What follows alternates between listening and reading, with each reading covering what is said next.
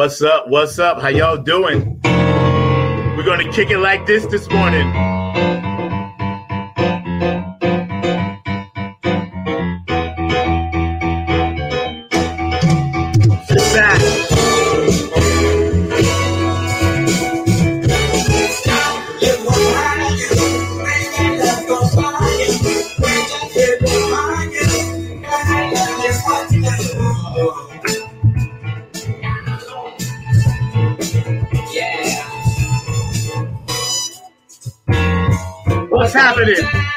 How you doing?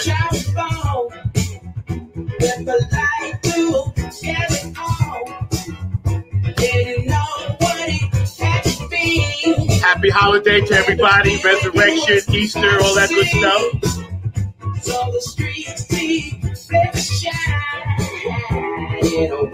As we learn, y'all.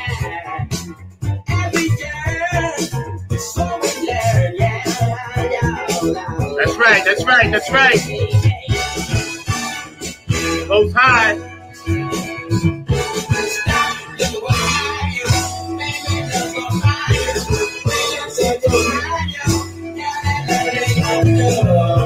What's up, New York City? What's up, Maryland? Yeah. Detroit, you in the house? Where you at, T Funkers? Boston, Massachusetts. What's up, Curtis? Minneapolis, MPLS, y'all. Third finger down. Go the wild side. Yeah, yeah. Virginia, North and South Carolina, West Virginia, Baltimore, Maryland, Washington, D.C., Texas, y'all. New Orleans, what's up? Dumpster Funk, where y'all at?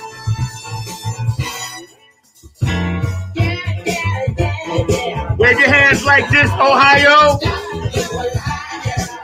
Yeah, yeah, West Coast, California, Nevada, Las Vegas, Washington State, Hawaii, China, Japan, Dubai, Australia, we love you. Germany, what's going on? How y'all doing today? Yeah, yeah. Welcome to another edition of Funk Music with Zack. So glad to have you guys in the house today. I'm a little pumped up, you know, um, just because I am. Don't know why. I know a lot of you guys are celebrating um, different things out there today. So peace, love, and harmony to all you guys. You know I love you.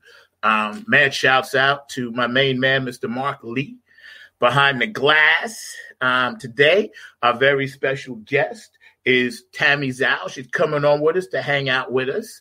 Um, you know, she's gonna be here in a bit. We're gonna bring her on in a second. Um, we always leave a candle on. I started doing that for all the people that's going through something, for all the people that's dealing with stuff, for all the losses out there, and for all the gains.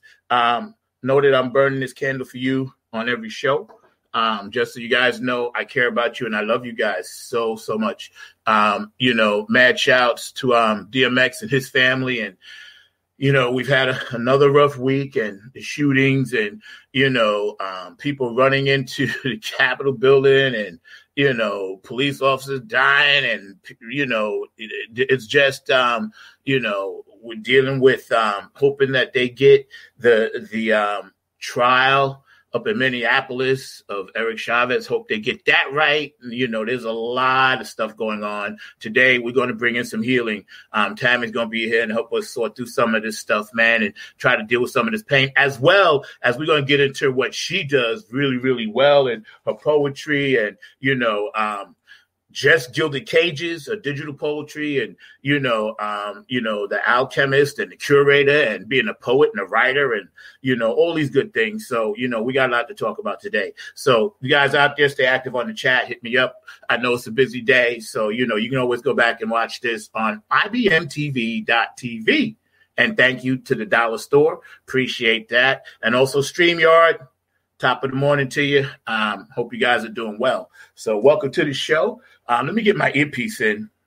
So, I came on with that song, Earth, Wind, and Fire, Yearn and Learning, because sometimes on Saturday nights, before um, I start putting together the final pieces of the show, you know, I, I try to listen to different music that I feel is going to um, be a change when I first come on in my 30 second rant in my roll call. And and it pumps me up. And I was listening to the words, you know, stop, look at what's behind you. Fame and love's gonna find you. We're just here to remind you, yearn and learning is what we do. So we yearn to learn, but we just got to be careful what we're feeding ourselves. You know, we got to be socially conscious. We have to be um, mentally strong, especially now. You know, the enemy's running rampant out there. So, you know, in all fashions, all shapes, forms, you know, um, and people are giving power to that. And um, just a word of, of caution be careful what you lend your energy to because some of it may not be the best situation. That's all I'm saying. Um, you know, it's funny because life has twists and turns, and you, we just never knew. Nobody even saw COVID coming. And if they did, they lied. And maybe the people on the inside who put it out there knew, but people on the outside, we didn't see that coming. And that's because we was all sleeping. You know, some of us knew what, let's say, the powers that be are capable of, and a lot of us try to tell you through music and poetry and art you know. So we try to try to hip people to the game. And then a lot of people are hip to the game but don't know how to make a change. Um, i was just talking to my friend q you know we was chatting yesterday on the phone and you know talking about how more um, you know adults over 50 have not been able to figure out a way to pivot so if you're out there, man, hey, you know, life begins at 50. I got to tell you, you know, um, I'm blessed. I just turned 63. And let me tell you, I feel better than I ever felt. You know, I know more than I ever knew. Um, and I'm more conscious than I ever was. I'm more woke than I ever was. So, you know, it just depends on where your spirit is at. And I'm not bragging because I believe me, I done been through it. But uh, all I'm saying is that you know the good people around you, the good people I have around me, um, did not let me fail or fall. You know, and I'm talking about all of y'all out there, you know, who supported me in all kinds of ways. You guys did not let me do that. Eh, you know, so again, kudos to, you know, you. Um, but yeah, because and that's why I say watch who you have around you. Because had I not had the right people around me, it's no telling where I would be today. Um, and and you know, you guys know who you are. Um, I appreciate you. And yes, I've been working out. I'm hitting the gym. Eh, just so y'all know, when you see me on stage, that pot belly, that COVID 20, that's gonna be gone, son. Out. Can't roll with that. Nah. I don't want people saying, look, there's Santa Claus on stage. I can't handle that. I'm trying to tell you now, that won't bode well with me, you know while we hanging out waiting on Tammy to get in, um, again, our guest today is Tammy, you know, Zhao, and she's coming on, and you know, she's an amazing woman, an amazing spirit. Um, she does like really, really cool things in the community. Um, she's down here in North Carolina, her and a partner, and you know, they got something really special going on. So we're trying to figure out the technical difficulties and get that squared away. My man Mark back there just texted me and he said, I'm on it. So if Mark is on it, it's a done deal you know. So anyway, um, getting into something that I'm gonna talk about later, you know, on the roundtable, I'm trying to understand what is in um, our hearts right now as as some of us, you know, um, try to repair damage that others have caused. You know, some of us want to be on the side of right and right. Um, my guest yesterday, Milo Z, and his buddy Harvey was talk. We were talking about this, and um, you know, just right on the side of right. That's there's a simple choice. It's like, come on, just be on the side of right. You know, right is not an opinion. Right is a thing. It's, in my opinion, it's a living, breathing thing that says, listen, if I murder somebody, that can't be right you know what I'm saying? Or if I attack somebody, that can't be right. Um, you know, so uh, just just on the side of right is is I think where we've lost our way.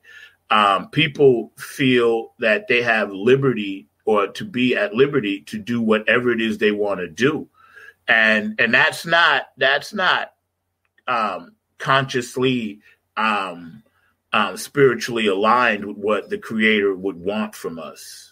Um, you know, we were created in and you know in a, in such a way that where we have um, free will, but at the same time, you know, that doesn't mean you know we go out and and just do things just to be doing it. Um, because we have free will to do it. Sure, you you have free will to do it, but is it consciously and is it um, you know morally um, and subliminally in your spirit is in your heart is it the right thing to do you know? And we all live and learn you know? And and that's why i chose yearn and learning to circle back around. I, there was a end to this story. Yearning learning is what we do. Um, so as we yearn so we learn um, just to try to filter out that white noise and stuff we don't need you know? Um, so I think Tammy's on her way right now. Um, and I know my man Mark is on it. So check this out. What's going on in the world today? Well, let me see. Um, the United States um, seems to be on some type of comeback. Um, I've been out a few times checking it out. People still on social distancing, but then again, I think part of healing has to be human contact that's part of it. Um, I didn't make the rules about this planet. Trust me when I tell you, this planet has its own set of rules.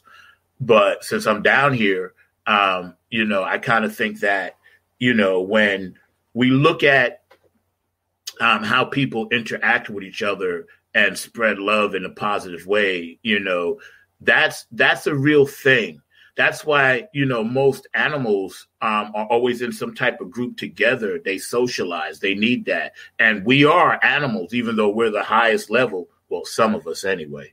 We're the highest level of, of animal and mammals. We um we we we tend to need to you know for the most part. And I'm not saying people like to be alone and this and that. I'm not saying none. What I'm saying is in a social setting, we tend to need to group together. And and I and I know it's uh, it goes against the mask wearing, social distancing thing. But I kind of think, in my opinion, as we go a little bit further on, the healing part of that is going to be essential, especially for young people. You know, um, because they're just learning how to get into that. So so they need that to grow, to learn. Um, and even though they do it this way, social media, back and forth on the screen, whatever, right? Um, you know, I think that um,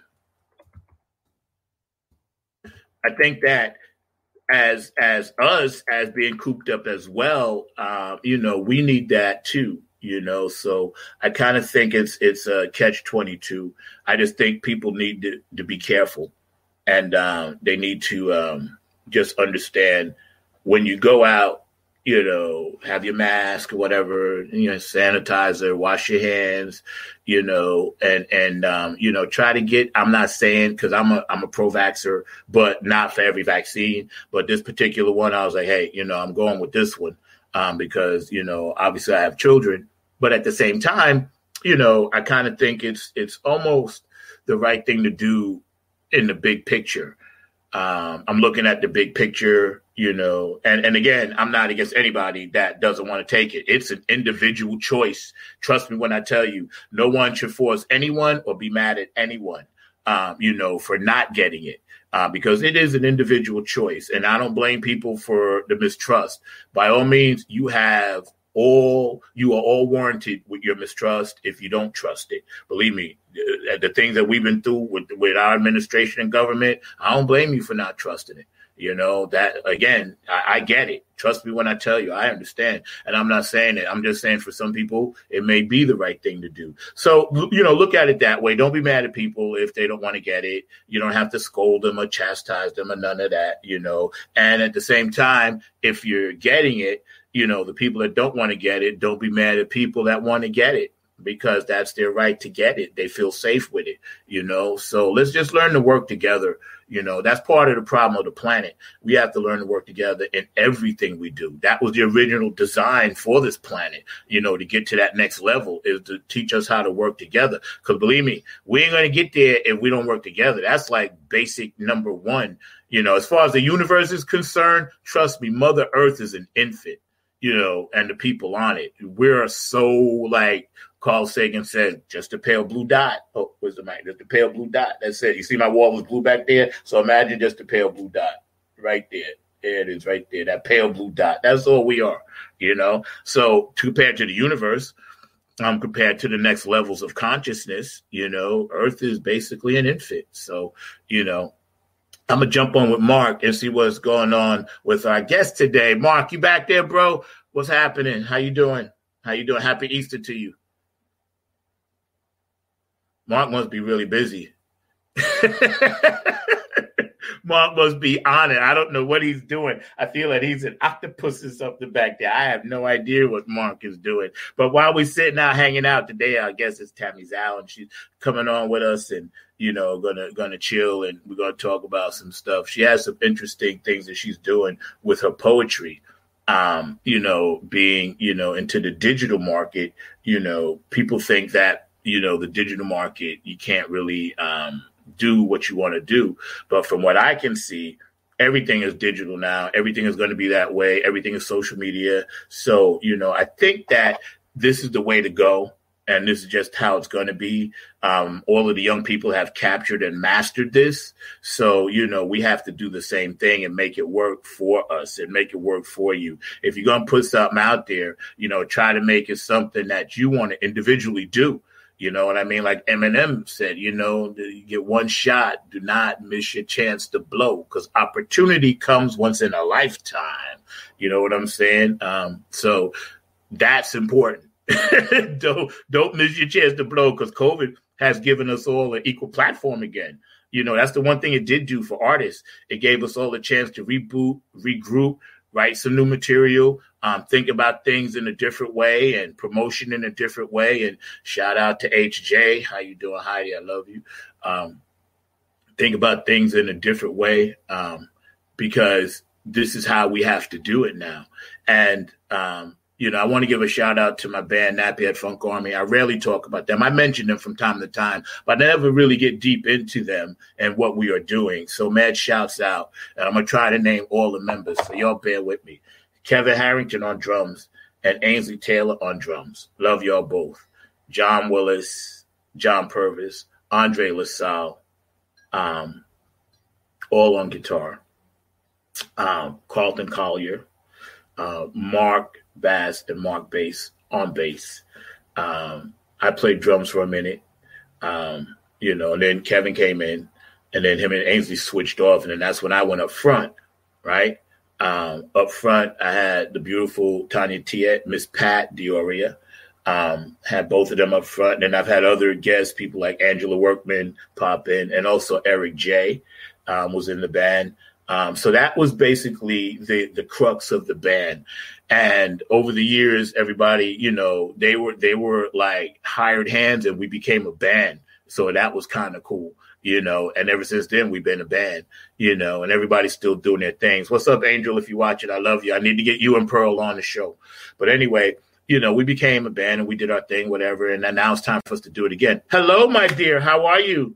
Hello. How are how you doing?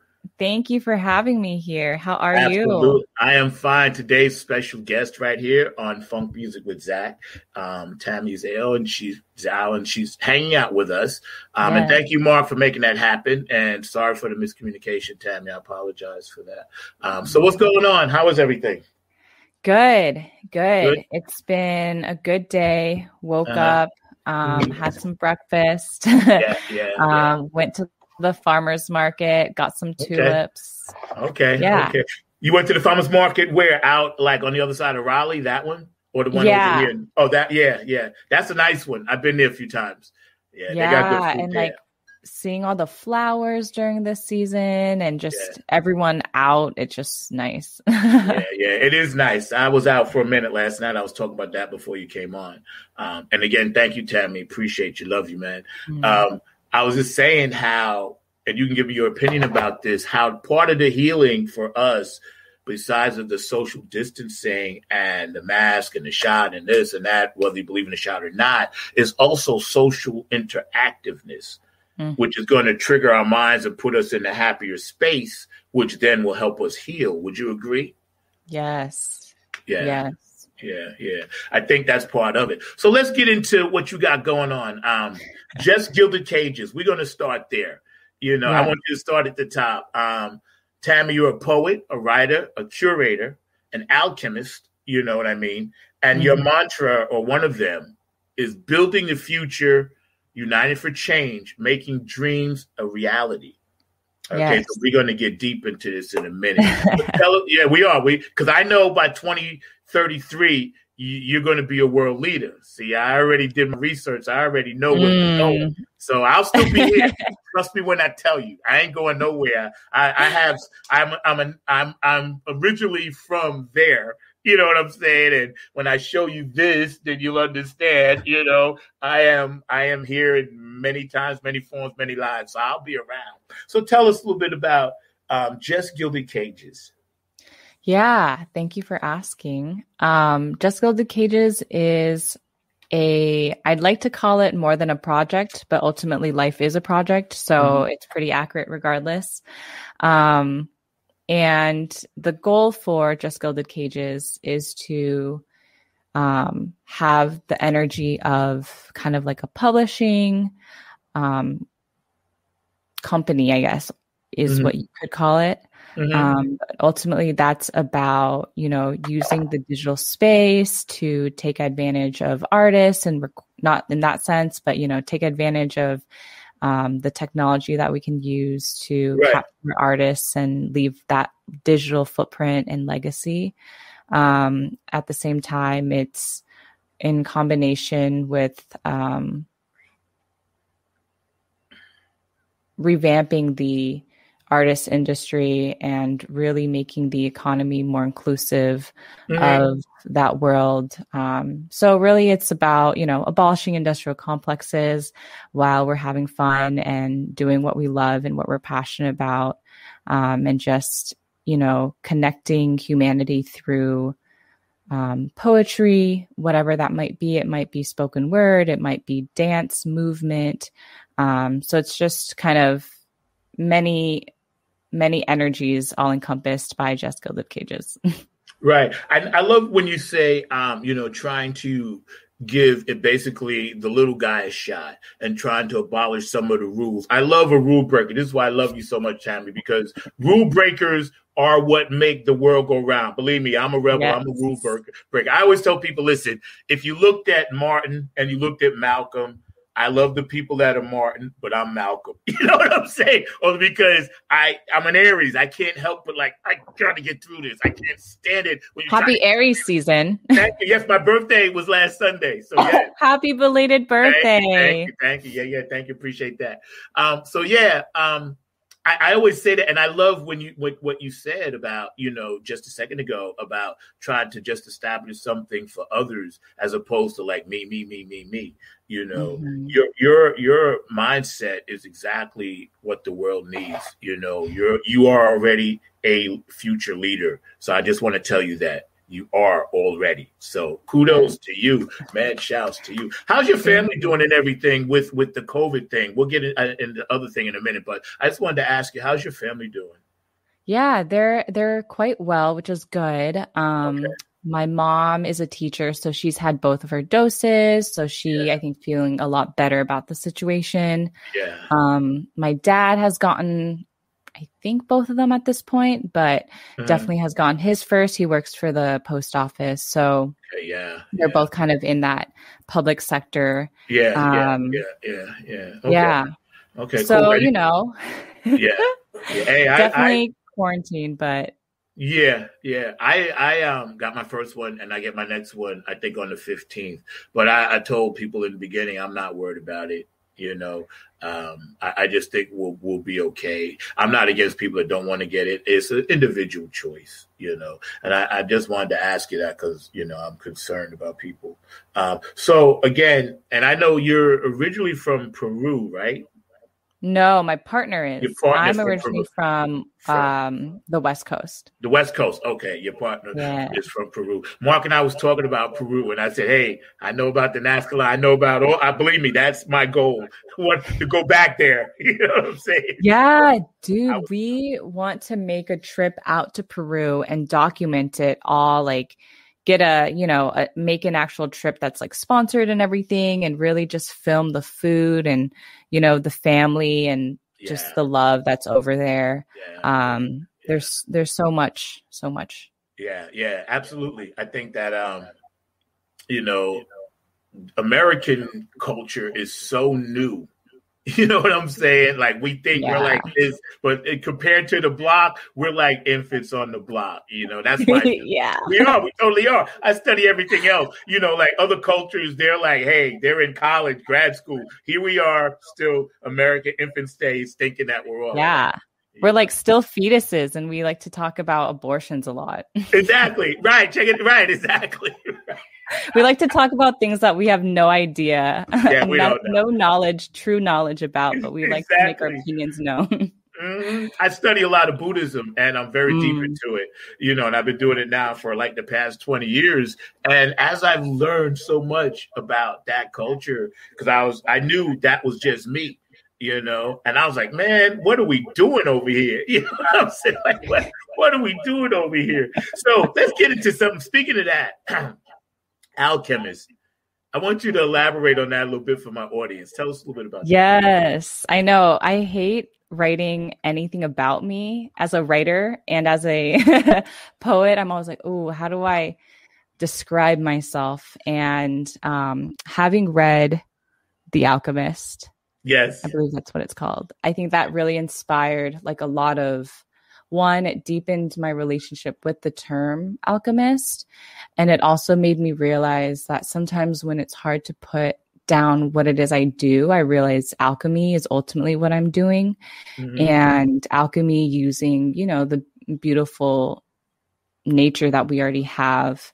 Um, and that's where the art comes in, you know, how it allows the mind to expand. And within that expansion, we can um, shift things towards a more positive um, future in that sense, right? So for me, I call it alchemy because it's taking energy um, and combining it with, you know, knowledge, whatever it might be, and bringing us into a different sort of end result. And um, I know that some alchemists or some folks might think of alchemists as more as a um, you know, mixing, you know, maybe it's mixing a little bit of this and mixing a little bit of this in the lab or something. But ultimately in life, if you are um, doing things with intention and mindfulness, there's a lot of power behind that. Um, because at the end of the day, like what makes it special in the lab is, you know, you're careful about how much you mix. You're very, you know, everything is down to kind of the science. Um, and ultimately, humans are still part of this concept of science, but it's at the intersection of spirituality. You know, there's so much to it that can never be boiled down by one topic. Um, so I think that's where my multicultural background, my um, just understanding of the world, the global world, um, helps me kind of um, do the work that I do um, and make the changes that need to happen.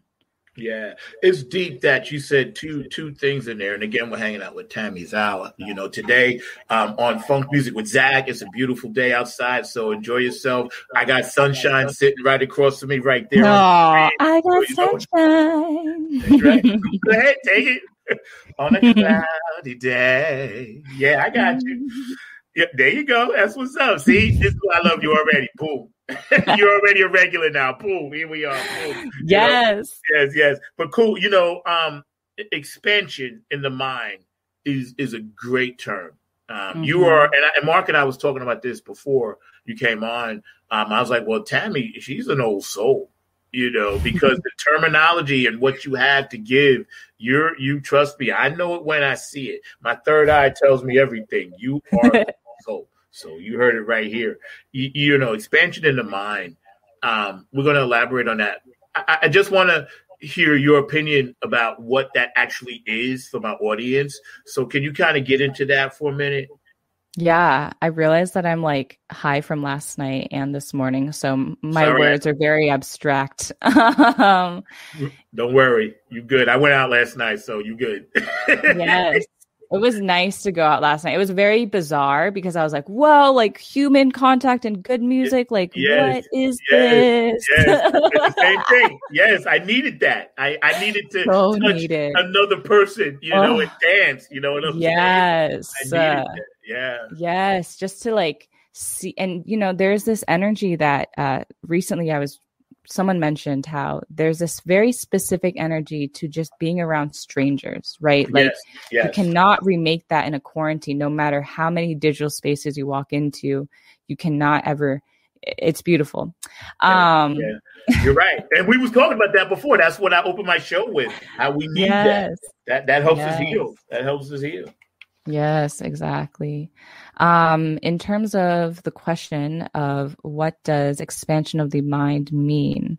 So, from my perspective, I have seen that at the baseline of a lot of fundamental issues across not just you know the United States but across the globe is the fact that there is a very huge limitation that gets put in place either by media, by, you know, whatever programming.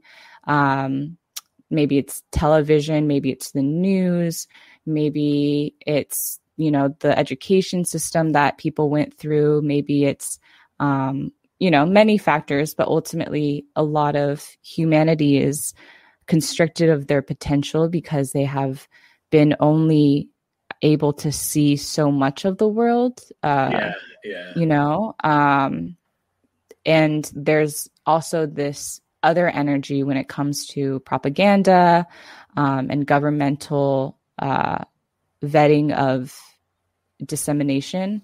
Yeah. Um, yep. It creates a lot more on top of that now you know this uh, this need to ego or whatever it is satisfying this energy um, which is not sustainable which does not is not productive and it just makes it so that i've noticed there's a lot of people who only know what they know and yeah. once they're you know once something else new that's truthful and new and somehow defies their reality because i've experienced this too right like no matter how multicultural no matter how diverse my background is there's still there have still been moments where i'm like no that's not true because i believe this you know and that's where my yeah, ego yeah. clearly is just like yeah. no we don't want to like die today so right.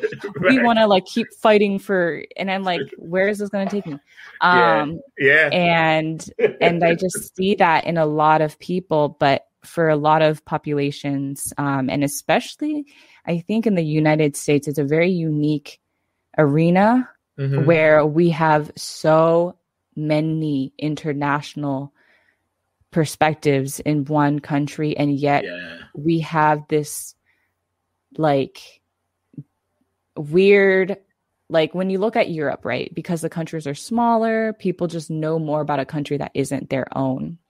Yeah. And yeah, yeah. and people look at regions differently. Like here, I think there's this huge disconnect because of media and all these things. And so I feel like people can only receive so much of the world when they don't believe in more of the world. You know, like if you yep. don't believe in the concept of a God, how can I have a conversation with you? Because you're probably going to spend most of the time telling me that there is no God. And I'm like, that's not the reality that this person lives in. So where are we going with this? We're just going to deny someone's right. reality regardless. Yep. And so it it just, you know, doing the work that I do because I am a future leader, I am forward thinking, I am ahead of the curve in many ways and I also understand that I can't do the work that I do without the collective, right? Yeah. The, you know, this is this is as much as it is me, as it is you, as it is them, and we are all so interconnected that I cannot move forward without making sure that everyone around me is on the same page or gets yeah. it or is yeah. joining in some sort of way of you know, okay, forward. This is the gen like my forward direction is nothing, you know, crazy, but I understand where the the reason why we haven't even been there yet is because of the mind and how yes, people limit yes. themselves and they yep. limit therefore possibilities. So therefore, expansion of the mind um, is really about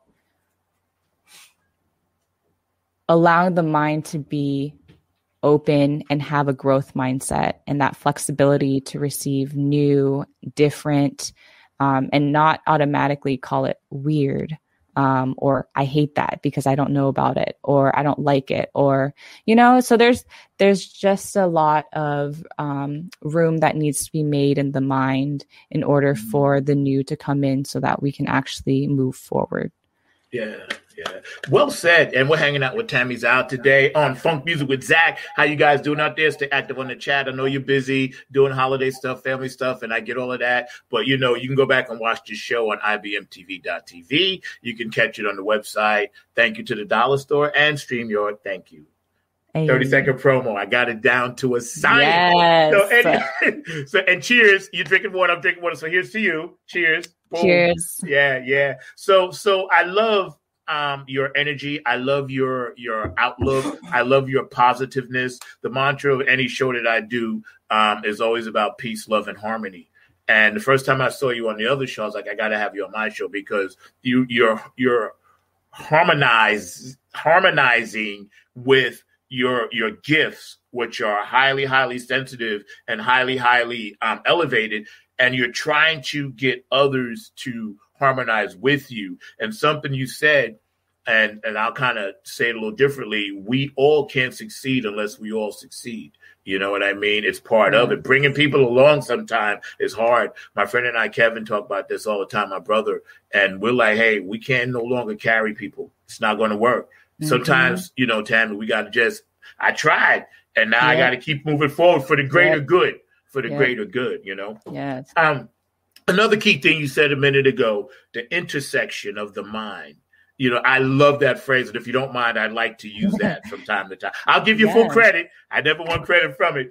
I just like the way you phrased it because the body, the spirit, and the mind, and our soul, and whatever gifts we all have, and everybody out there has a gift, we are all at an intersection. You yes. know, um, what do you think about that? Yes, exactly. Everything has to be seen from a holistic viewpoint, or else it's just, I don't know, it's just going to repeat in some different way if we don't look at it from that um, yeah. full perspective. And yeah. I think, you know, medical industry definitely leaves out the soul, definitely leaves out psycholo- the psychology, like definitely leaves out mental welfare. You know, I, I mean, mental welfare maybe debatable, but ultimately, um, you know, we only get one definition of what care looks like mm-hmm. um, mm-hmm. and what should be taken care of.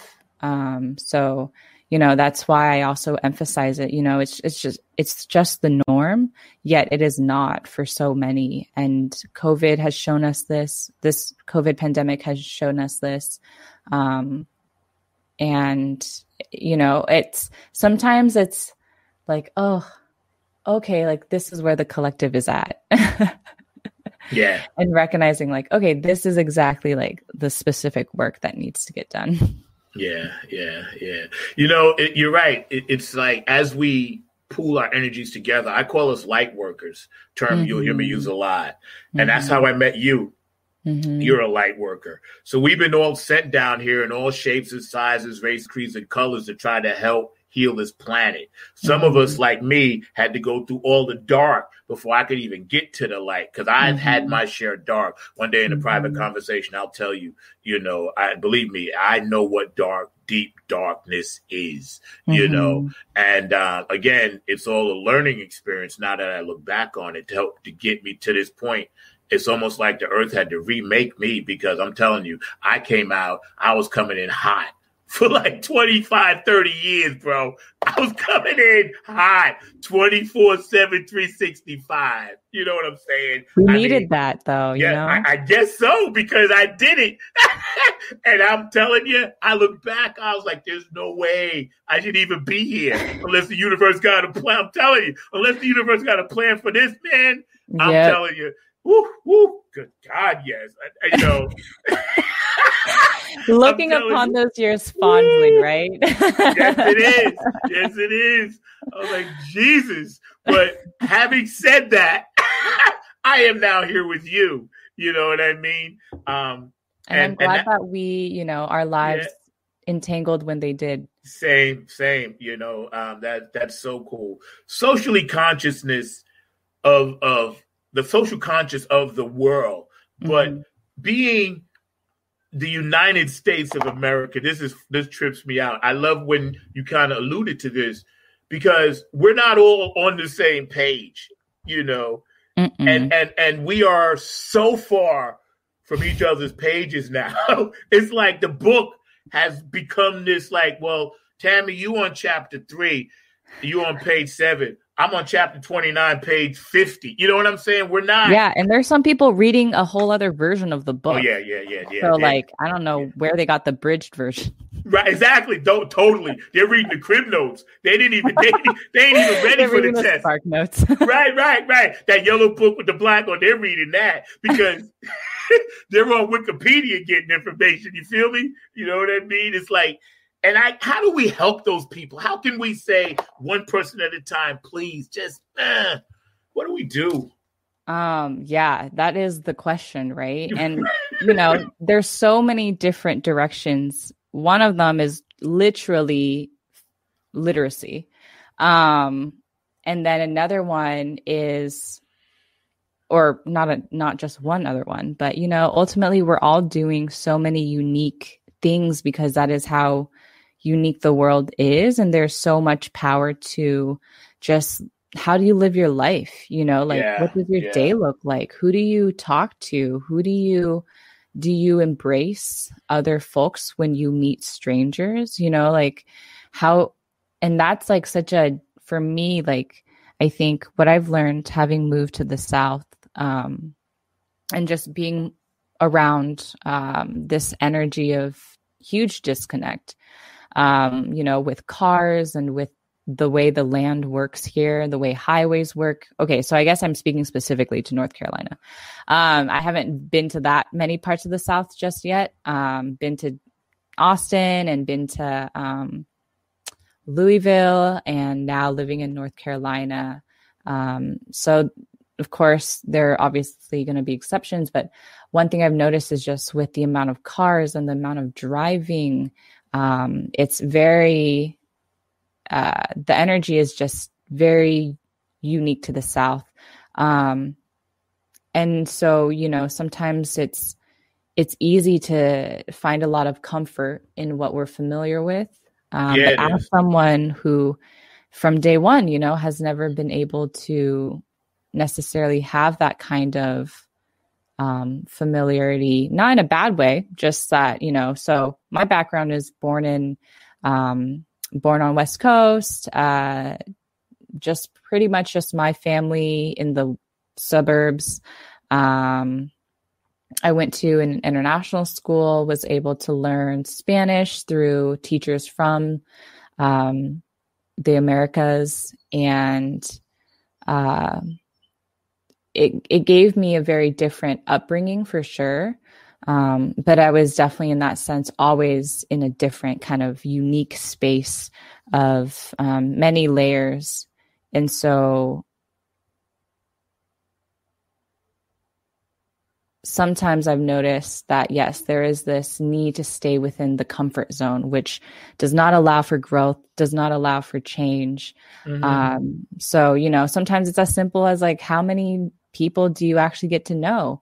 Sometimes it's as simple as do you compost? Um, and there's just so many various ways in which people can do it. You know, it's the way you show up to work um, it's the work that you do and um, so yeah there's just so many routes that people can take to get to um, doing what's right right so that's kind of like why i say I, I i don't have like a very specific answer in that sense to that question yeah yeah, but it's all good because you know we just vibe and it's organic. And I like the way you looked up because you was definitely getting a message. I don't know where it came from, and I don't know what they was telling you, but it's important. That's why that space. I know that look because I've had a few of my guests.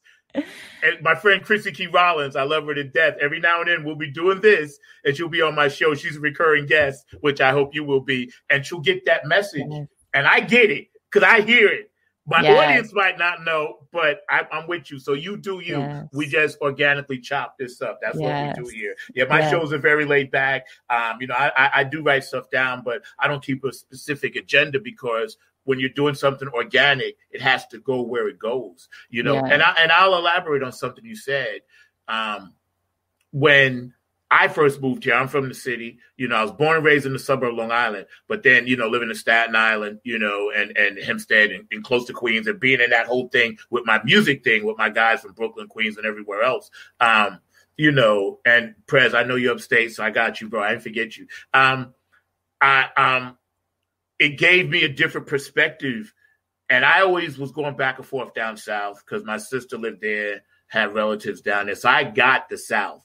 Mm-hmm. But when I live here and I not now that I live here and I and I moved here, it's a different vibe. Like you said, it's hard to keep a collective energy when you're you got a farm yes. here, you got a rural mm-hmm. thing there, you got this that. But in cities and bigger areas where you and I are from, it's mm-hmm. like that mm-hmm. thing. You can just walk out your door, mean, you get chucked yeah. in. I tell yeah. people, listen, you can be whatever. New Yorkers can party till four in the morning, get up at six thirty, and do a full eight hour day. Because yes. once we get it, boom, we're plugged in. It's just like, eh. so here, it's self. You got to self charge yourself. Like you gotta like, eh, eh, you, you, know what I'm saying? Just to crank it. And then when you get out, you're looking for others, right, to get that energy, and yeah. they're like cranking it up. So it's just so yeah. hard, man. Yeah. And, I, and, I, and I did what you're saying. I get it. I, I totally get it. Mm, know? That's a great analogy. That is exactly what it is. It's that it's not it doesn't feel human powered when there's no you know i live currently in a more um, populated area with you know apartment living so it's it's nice to give that ener- to get that energy but yeah it's that's a great way to put it. I'm definitely gonna think more about that later. You feel free to use it. You know we trade off on this show. You yes. feel free. You because that's what information is for positive, peaceful, spiritual, harmonious information that you and I are vibing on. It's almost like I have my guests when they come on, and thank you to everybody watching the show. Again, I'm hanging out with this beautiful woman, Tammy Zhao, and you know, producer, writer, poet, alchemist, does all these great things, building the future. Maybe run for politics in 2033. We don't know, but I'll be alive. Uh, so, it's almost like my guest and I, we melt as one entity on this show. And what we put out even though it's two voices, it's one thing. Mm-hmm. And that's what I love about this interaction. I love when I met you. Um, tell me a little bit about um, the, the the the social issues of today. And I'm going to just pick the one that bothers me the most. Mm. Um, of course, obviously, the voting thing bothers me. Of course, the you know trial um, of Chauvin bothers me. Of course, the racial components to this world bother me. But I want specifically to chop it up about the attack on Asian Americans and mm-hmm. how you feel about that. I was very embarrassed that that happened in New York and it's happening in New York. I'm ashamed mm-hmm. of my city for doing that. And I'm telling you all right now, New Yorkers, stop that shit. Stop that shit. Mm-hmm. Stop it. How do you feel about mm-hmm. that? Yeah. Um, I mean, I never feel good. Never feel good. Um, you know, it's never okay. I understand the layers behind it, but that doesn't mean that, you know, we support that. And the work that I do is ultimately at the intersection of, you know, the fact that this violence isn't new. It's not new to many communities across the world, ultimately, you know. Um, violence here is as a result of violence everywhere. Um, everything's so connected with international politics. So, you know, it's it's hard to to to talk about it without moving into kind of that bigger picture. Um, but ultimately, it's definitely very sad as always. Um, it's never fun to see anyone murdered, and especially never. It's always exhausting to see it at the hands of white supremacy and um, lack of uh, gun culture or gun control culture. I don't even know how to talk yeah, about it's, that it's out of control. Yeah, that's a whole nother show. It's out of control. Yeah. Um, but yeah, there's just there's just a lot of violence in this world, and ooh, that's loud. um, and it's always it's always sad to see it hit different communities. Um, and it's also at the same time good to see how it's brought communities together.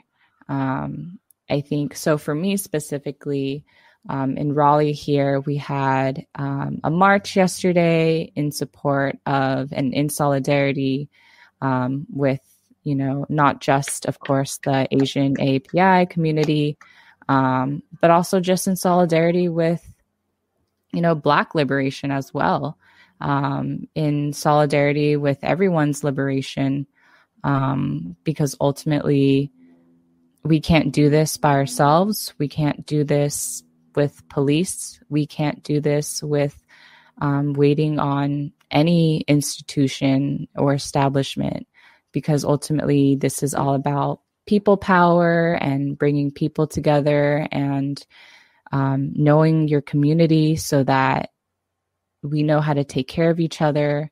Yep. We know how to provide the resources. We know how to feed each other. We know how to um, clothe each other. We know how to do the things for each other so that we continue to detach ourselves from a system that was never here to serve us, was never here for us, um, was never sustainable um, system, you know? So, uh, in that sense, I'm glad that it has sparked a lot of community during this time.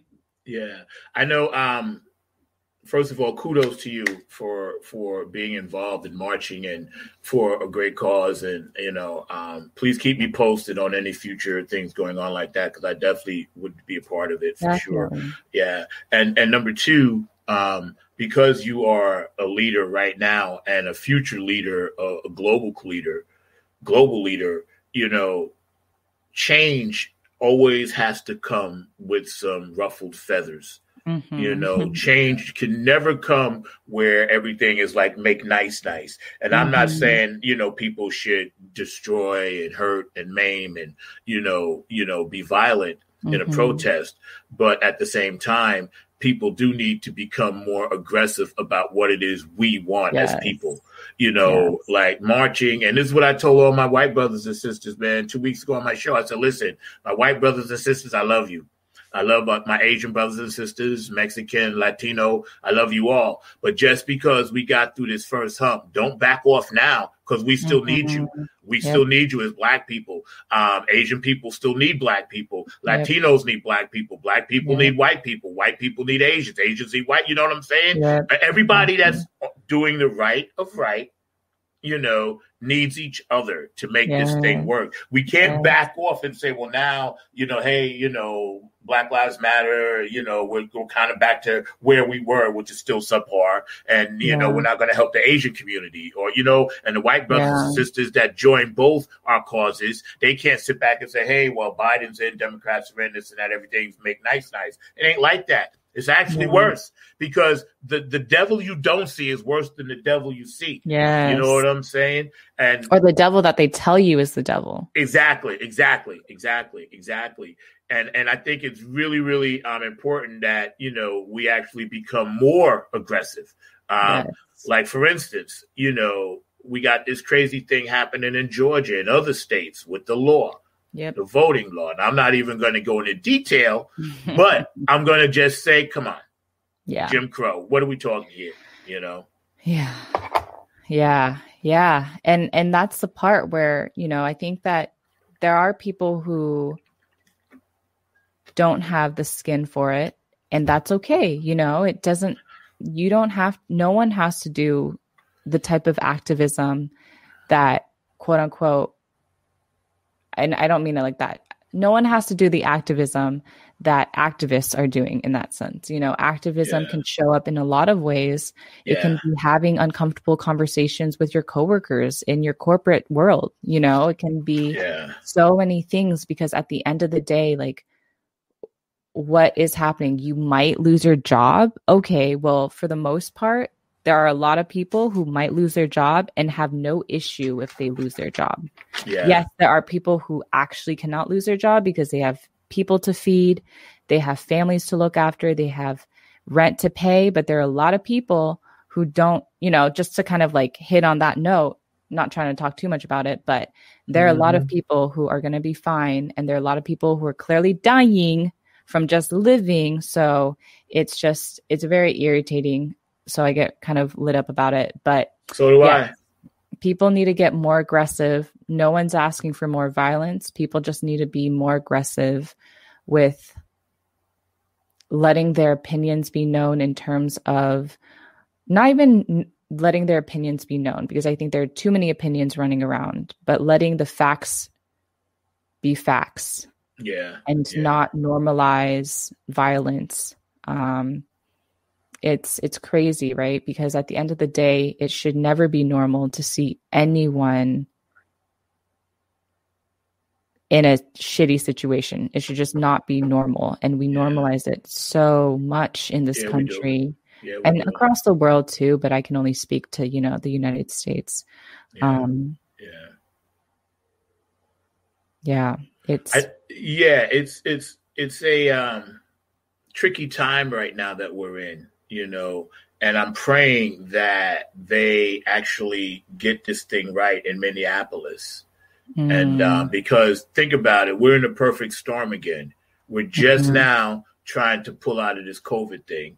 Mm-hmm. Economically, we're we're ten years behind where we should be, mm-hmm. and that's due to partly corporate greed, and then due to partly, you know, uh, mostly all corporate greed, but due to because if, if corporate America would have been paying people what their worth is for many many years, nobody would be poor in this country. Anytime we can pay an athlete three hundred million dollars, you know, and we can't give a poor man on the street a dollar, there's a there is you know the creators looking down like y'all got this really backwards. You know, you can't even distribute wealth equally.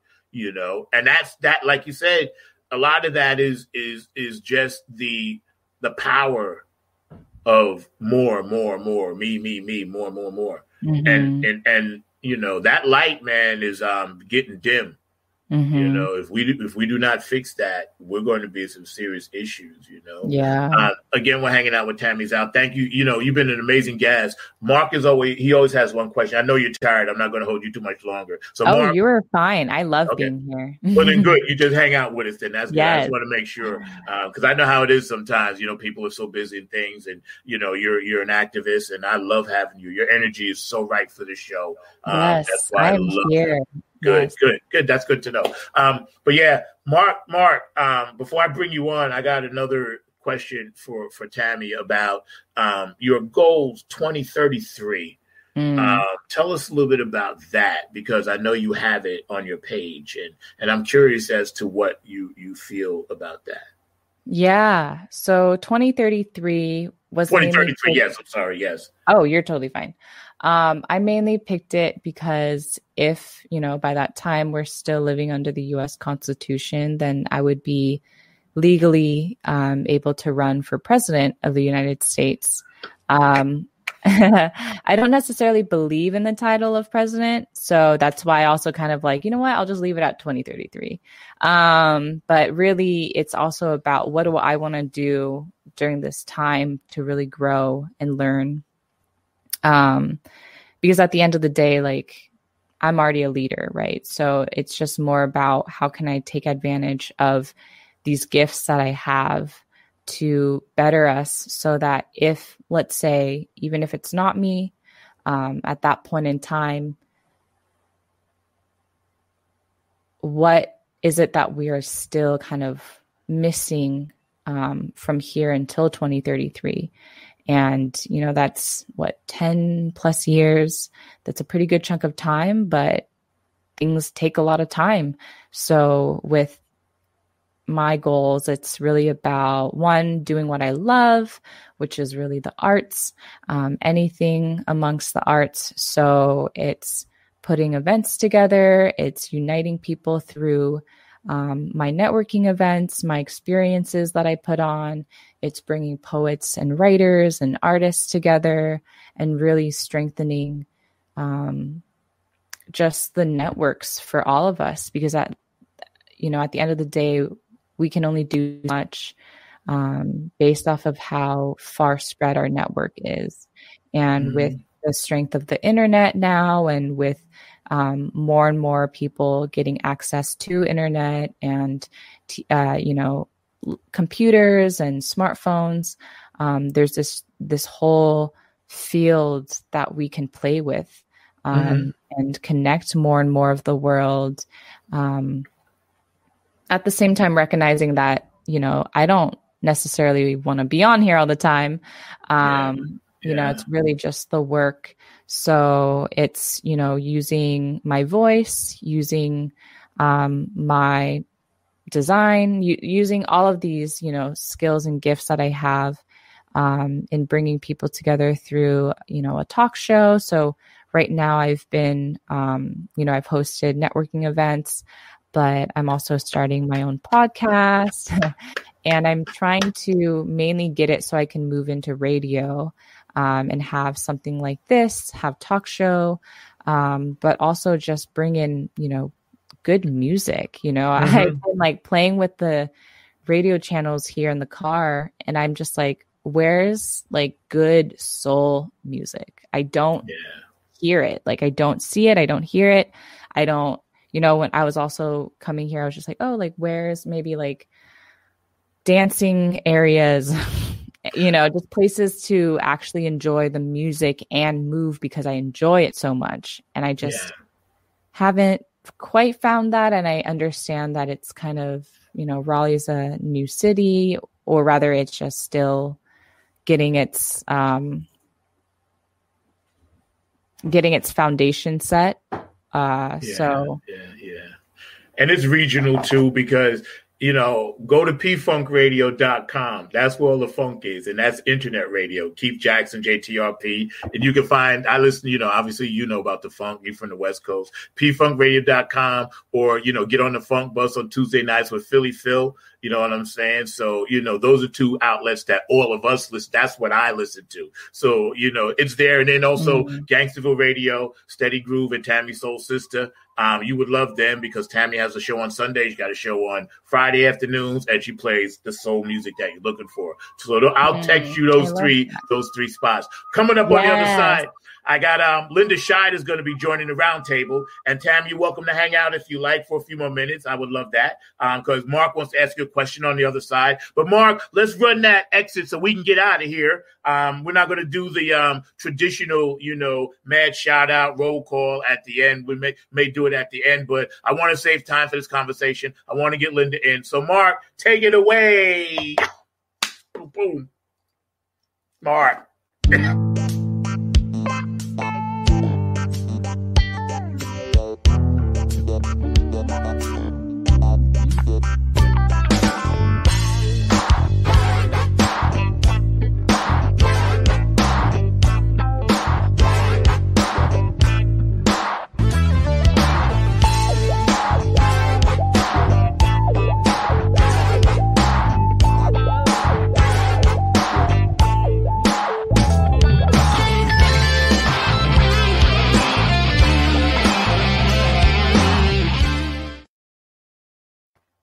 was Kyle Willis on that theme, y'all. Check him out, the Groovalicious Project, my main man, Kyle Willis.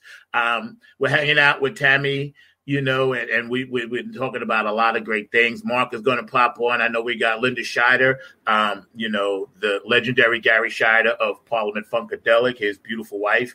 Um, and Gary's no longer with us here physically, but in spirit. And she's an activist out of DC, so she's going to be joining us. Is Linda back there, Mark? She's hanging out. Linda's back there, going to bring Linda on as well. As a matter of fact, there's Linda right there. Hi, beautiful Linda. Linda. Join us. Hi. Hello. Nice Love you. Everybody. Nice um, to meet and this you. is actually a question that I'm curious to hear about. You were asking some of the questions I had in mind, so I'm actually going to direct this toward um, Tammy, but definitely um, a lot of this conversation will go toward everybody here on this roundtable and everything. But one of the things that I've always uh, loved about you, Tammy, is that you always put together events that bring up together a lot of our society. And you and Zack were talking about the multiculturalism and the, the way that multiculturalism plays a role in your life. So that being said, you just recently did an event called Year of the Ox. And I'd love to hear you talk about that event, about the connection of that event, because that event had so many people of different uh, styles. I mean, there were people there that were from European society, from the African American society, from the Asian society, but you also had people involved from the different um, aspects of our. Mark froze up, but I think he was trying to ask you about the year of the ox and you know how that was such a beautiful coming together so, of different spirits. I think that's what right. he was trying to say. Yes. Yes. And Mark was also my beautiful co host of the night. Um, Year of the Ox specific is under the Chinese or Asian zodiac, uh, Eastern zodiac. So this year, 2021, is the Year of the Ox. So, you know, kind of imagining what the ox stands for. It's that resilience energy, that commitment, that um, just seeing things through. So, with, of course, everything that just happened in 2020, I didn't necessarily want to come in to celebrate the new year without um, kind of regarding just the amount of, um, just with all of the energy that happened in 2020.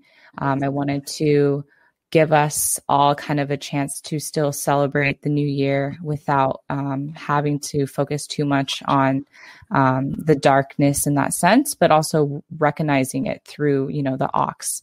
Um, and so, specifically with being Chinese American, um, every New Year's, my family would watch um, a broadcast that came from China to celebrate the new year. And it had comedy, it had music, you know, big performance, big energy, choreo, um, all of that. And it was always just a fun thing to watch and, you know, laugh at. And a lot of times I didn't fully like know everything that was going on because it was that deeply cultural to the Chinese background. Um, and, you know, being Chinese American, I kind of got like a mix of the Chinese, but also the mix of the American. And I wanted to put my own spin on it through the digital space.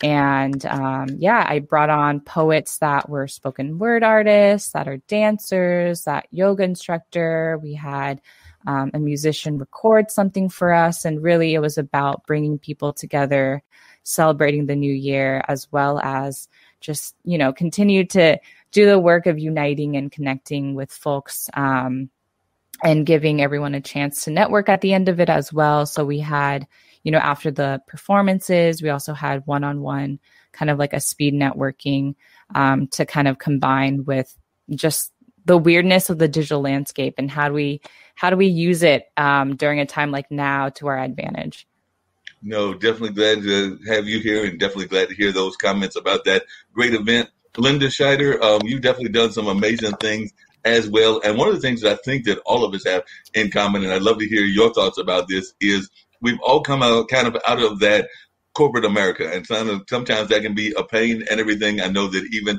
Tammy has actually retired out of corporate America at a very young age because I know when she was meeting at a co-working space, she was talking about the fact that she retired out of that corporate America and she's only in her early 20s, so she had that corporate experience already. But you've also been in that space as well, so I'd love yes, to hear your thoughts about corporate America and just how it's influencing what's going on in our world. So I'll start with you, Linda, and then I'd love well, to hear from Tammy as well. My experiences working in the corporate world, I was always a victim of sexual harassment and always ended up having to leave.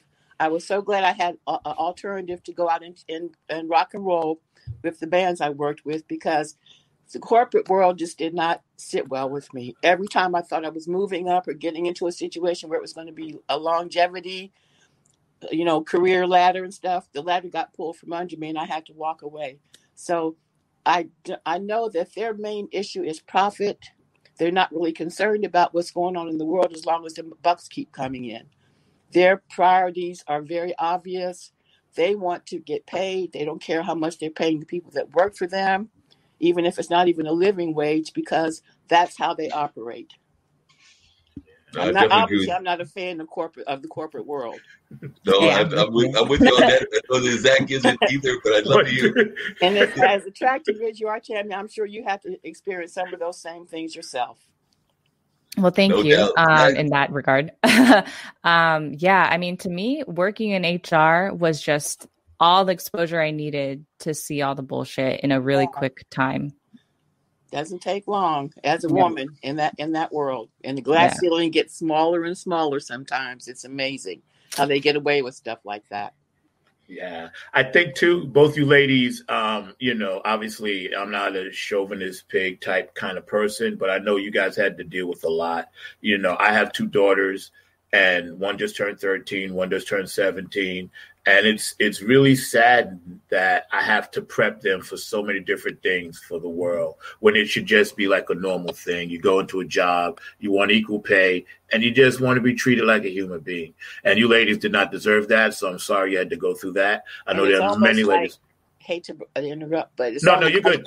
It's like to talk. We have to give our black children, our male yep. children, about yep. how to deal with the police when they leave our homes, hoping they can come back in one piece or come home in all. Those kind of things. And women have to get, we get those same talks, I think, from our mothers.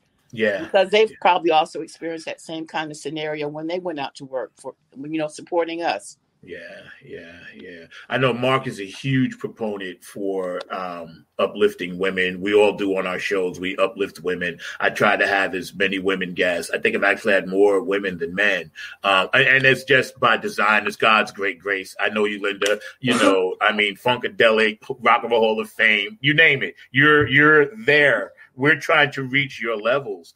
And one of the reasons why I wanted you on the show today, and I'm glad Tammy you're staying, is because I wanted to specifically dive into what's happening um, with this thing about the laws changing for voting. And I know, Linda, you're an activist oh. in DC. So I'm going to let you jump into that and start the conversation. And Tammy, please piggyback on that, please, while Mark is um, taking care of some stuff. And he'll be right back. And then I'll ask him.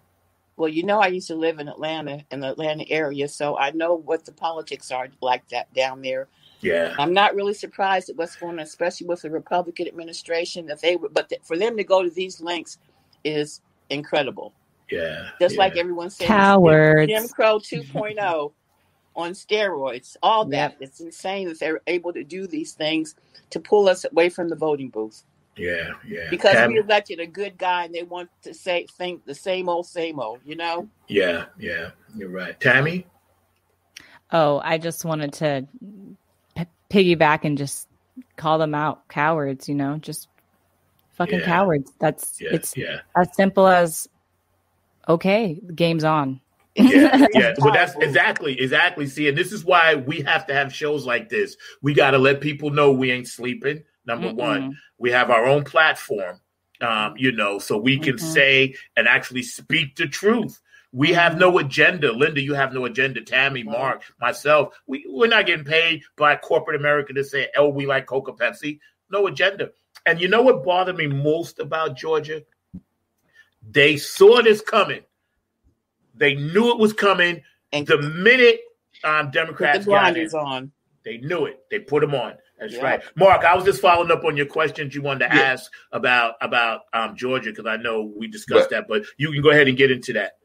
No, that's what I was curious about. Was about um, the impact of Georgia and some of these voting laws and all of that. Because I do know that even here in North Carolina, they are talking about that. I know there they're talking about some laws that will impact what's going on in the sense of you can't bring water, you can't bring food, and all of that. And I just think that that's a crying shame. But I'd love to hear all of y'all's thoughts about these restrictive laws that they are trying to pass, not just in Georgia but also in North Carolina.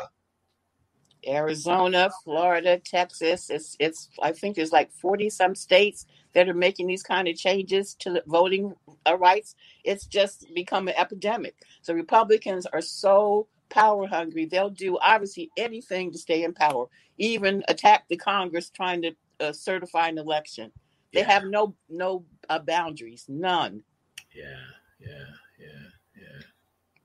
yeah I think too, I think I think you know what Linda just said and what Tammy's been saying and yourself, Mark. And I'll ask your answer your North Carolina question in a minute. I don't know much about it. All I know is I'm going to be there protesting it. so Tammy, you'll see me out there. we got to walk. We're gonna walk because I went to five protests last year. You know, Black Lives Matter. So we're gonna be out there. We're gonna walk. But I'm I, like Linda said, their their boundaries. You know, because they literally locked the lady up that was trying to get in. That's what I was thinking about. It was just out of my head. That vision, they're in there signing the thing, which should, from what my understanding, is supposed to be a public thing to see.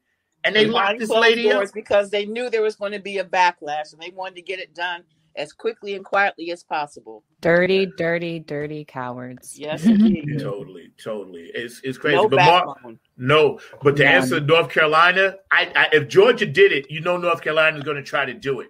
Southern right. states, Florida, Texas, Arizona. I don't know. I guess because there's a Republican administration out there too. Even on the West Coast, it's like it's like right. an epidemic of a power grab for all of them. Yeah. Oh yeah, yeah, definitely. One of the things, and I know that uh, your uh, kids, Linda, have been involved in this as well, and definitely uh, Tammy, you as a young leader have been involved. But one of the things that me and Zack have talked about, and I'd love to hear all of your thoughts about this, is the way that the youth have actually taken the forefront in a lot of these struggles. I know that you were at a march yesterday um, that you mentioned, Tammy, and a lot of the people that I'm seeing taking the um, reins are definitely folks that are in the under 30, under 35 crowd and things of that nature. So I was just wondering your thoughts as to why the young people are so mobilized by what's going on, and do you think that it's something that we can maintain? Definitely can. Oh, go ahead. I saw you waiting on you. Go ahead, Tammy. No, I kind of want to hear Linda go. well, from my experience, it's because most of us are veterans in this in this power thing and Black Power movement and all that stuff going on. It's time for the youth to take over because they have the energy. We've all kind of gotten jaded because we've had the beat downs and the cop shooting and us and the arrest and all that in our history. And so, sometimes you get tired, you know you move you want to have a pleasant life so you kind of find other things to occupy your time after you put in your you know your time in the trenches it's time to relax and enjoy the rest of your life and that's kind of i think most of the older people who have been in this struggle you don't see them too much anymore because it's about the youth if anybody's going to change things because that's what we did when we were young we changed things yeah we did yes. and if yes. anything is going to fix what's going on now it's going to have to be the youth because they have the energy and the obviously the drive to do it Yep, yes, yep. exactly. Thank you for your service, Linda. Thank you for for taking it taking up the, charge. Okay, seriously. Yeah, I'm mean, of you guys, it's wonderful to see this. To see all the races come out in the streets all summer, and seriously be working for something that's so important. Yes, yes, you know, and and that's why.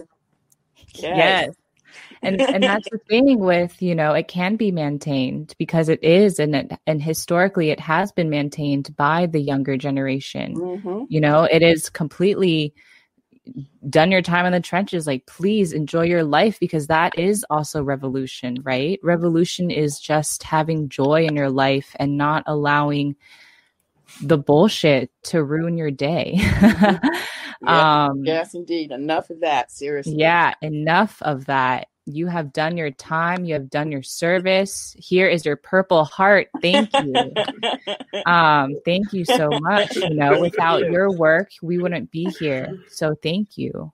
Yeah, Yeah. And how important do you think it is for folks to understand that, that legacy? You just referred to it. Linda definitely referred to it. And that is something that I sometimes worry about that we don't always understand the legacy part of the journey as well. So how much of your youth folks are you seeing that are actually honoring the legacy as well? So that's one of the concerns I have is sometimes the need to make sure that we're connected to the legacy and not forget what we've had as well. Mm-hmm. I think the reminders of the John Lewis's and Martin Luther King, his assassination anniversary, I think was yesterday. Mm-hmm. All the people that you know have, that went before me and in between, and all of us that followed behind them, trying to make changes. We have to always keep them in our hearts and remember if the struggle is not over, they just open the door to make it happen. And we have to keep pushing. We see things have not changed that much since they were uh, out here in the streets with us it's we have to do something powerful and the power is in the youth and the energy of the youth to do these things that they're doing be out there in the streets protest go to the state assemblies make phone calls do anything you can to stop the, the momentum of this redneck racist environment that we live in yeah, it yeah. Is. yeah. Great, yeah. great, great, great. No doubt about that. I know that one of my favorite songs, I've talked to this, uh, to Zack about this a couple times, is A Change is Gonna Come. And of course, that song was written ages ago and everything of that nature. But it's just a shame that a lot of the things that both that song and that Martin and Malcolm were fighting for are still things that are concerns of ours, even to this day and everything along those lines. I know a lot of times we hear the term, um, and there's a lot of terms that we oftentimes hear, like you and uh, Zack earlier, we're talking about alchemy and everything, but we oftentimes hear the term revolution. So I'd love to hear y'all's definition of what revolution is, and are we anywhere near being at that true revolutionary point? So I'll start with you, Linda. What is your definition of what a true revolution is, and are we in the midst of a new revolution? To me, revolution means a serious change.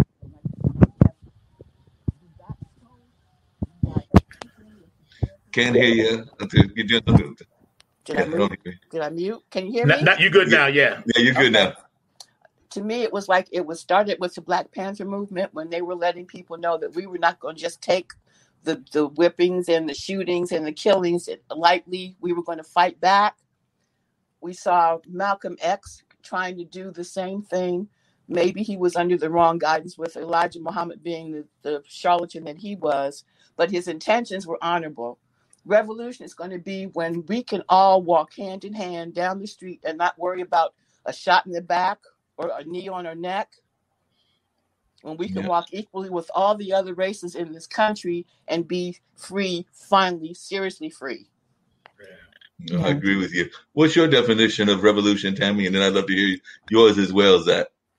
Yeah. Um, I mean, Linda really said it. You know, it's as pure as it is as what we want it to be. Um, but also, revolution only exists because of all the darkness. You know, at the end of the day, revolution began when they decided to steal people, when when they decided to murder people. You know that just by enact just by doing that, you have already started a revolution. Whether it is quiet, whether it is loud, whether it is in your face or behind your back, there is always revolution going on. And that's why, you know, going back to kind of what Zack and I were talking about earlier, just everyone's doing unique work. And that is why revolution can be silently having, you know, changes in different spaces. Um, so to kind of uh, add on to what Linda said, because she already she got it. it's like when we can all really breathe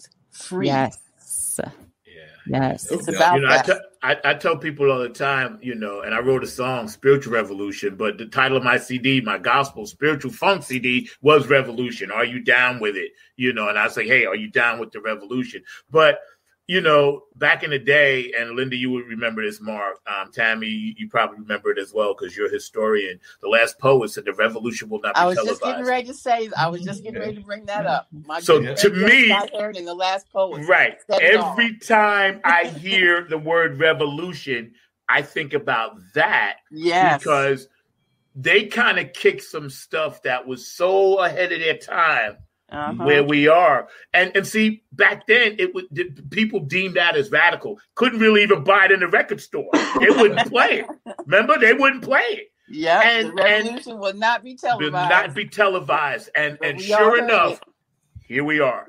You know what I mean? And I yeah. think about that, Mark, to answer your question. Mark, what do you think about no, I think I think that a lot of times the revolution is in the midst. We're in the midst of a current revolution, and one of the things that I think is that we definitely need to make sure that we're addressing all the issues that are out there in order for the revolution to be successful. Because I think that too often we get caught up in um, what I call single focused issues, and then once those issues are done, we stop. And I think that we can't do that this time around because I think that too often we have become focused on one issue or another, and then once we get a resolution of some sort, not a revolution, but a resolution, then we get content. And I think that that's one of the worst mistakes that we can make. Like, you know, the, let's say the folks that are fighting environmental racism in um, California, I'm just using California as an example, they get some emission rules and some other things that happen. And then all of a sudden it's like, okay, we've won, we're done. No, you haven't won until the whole victory is won. And I think that that's one of the things that I've always admired about Tammy and Linda and even you, Zack, is that we understand that it's a bigger picture and you've got to be in it to for the entire thing. And it may not be one in our lifetime. We saw that it wasn't one in Malcolm's lifetime. It might be my uh, nephews that it's their lifetime, or it even might be, and they don't have any kids right now, but it might even be their kids or their grandkids until the true revolution is one, but definitely uh, something we've got to be in the midst of and staying in the midst of and all of that. So that's where I am with the whole concept of revolution. But I definitely consider myself to be a revolutionary warrior. And I also think, and this is actually where my next question was going to go, because I know that, um, Linda, your husband was very much involved in this. And I think that you have been involved, uh, Tammy, along with your partner and everything. But I was wondering, and no doubt you are, Zack, about the role of the artist as activists because I think that that is something that we sometimes overlook and everything because I think that they are an important and a vital part of activism. I mean, we've just mentioned everything from uh, the revolution will not be televised, which is Last Poets and Gil Scott Heron, to a number of other things that have been included as well. So definitely, I think that that's something vital. And by the way, Tammy, I'm glad that you put Diego into the frame as well because Diego yeah, is a master musician and right, a great yeah. musician, and I know he's doing some revolutionary work as well. What's up, everybody? Yo, man, welcome, bro. I was going to ask you where he where he was at, Tammy. You know, yeah. Go ahead, Linda. I'm sorry. I was just going to say I was watching this uh, thing on Aretha Franklin over the weekend, and uh, during her time, she got very involved in politics was supporting Martin Luther King and and you know put her afro on and started going out being really political. This, the idea she said was to take her voice and her power and her recognition and make it work for the good. And there's another thing I want to say. There's always another issue. Once we deal with one thing, it seems like something else comes up. Especially in the last four years when Trump was in office, you remember every day there was something going, every something day. serious he was doing that was messing around with the rest of us. You know, every yeah. day. Every There's day. always something we have to stay on, on, on awake. Have to stay awake. I guess I want to say, and right. take everything in and see what we can do to fix whatever we can. You know, That's you right. have to get in where you fit in. That was something Gary used to always say. Yep. Getting back no, to no Linda, Mark, real quick, I just wanted to tell Linda something all the funkadelic music that your husband wrote in combination with Georgia Bootsy, all of that stuff was spiritual. Swing mm-hmm. down, sweet chariot stop.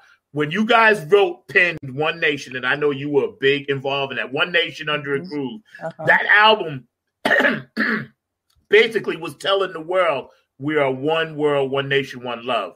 And that funkadelic statement of one nation, you know, that resonated so loud and still does today. So, Linda, kudos to you and to Gary. Um, I just wanted to tell you that because I blast that song until my windows pop out. The live version, the studio version, only because when I'm driving down the street, I want people to know I'm a funkadelic. no, no doubt about that. Um, Diego, I just had to get you, that in. No, and I want to get in something with Diego. Chocolate City kind of kind of opened the door for yes, that. Yes, it did. And yes, we never did. would have thought when he said that there would actually have been a black president in our yes, lifetime. Yes, you know, yes, George was like he was on to something. I don't think he even realized how, how time much. traveling. That's what it was. They used to time travel. I know. No, no, no doubt he was a time travel. Diego, I definitely wanted to bring you into conversation. Like I said, I had the pleasure of spending some time with you over the weekend and without me, by the way, and everything. So definitely, I enjoyed that. Next time, it means there's always a next time. You've got an amazing band, and I'd love for you to share with Zack because he's got a band as well about this band that you've got because it's a universal band. It's truly a universal band. You've got a mixture. You've got yourself who is from Peru in the band. You've got other members that are uh, different uh, ethnicities, but y'all are doing some great music. So share a little bit about what y'all's music is about and how y'all are even using it to spread both joy and messages. Yeah, man. Oof. Mark always with the man. You you catch me every every time I speak to you, man. Just. Uh, yeah. Side note, funkadelic definitely my jam. Uh, love, love, love me some funk. Um, that spirit, like uh, Zack was saying, very spiritual material. Uh, you know, I think that's one of the things, right? Like, I think in a lot of Western societies that we think that spiritual music has to sound a certain type of way, and you know, uh, through the works of people of color, like we realize that spiritual music is something that can activate you, right? In, in so many ways, uh, make you get up on your feet and dance and, and activate yourself that way.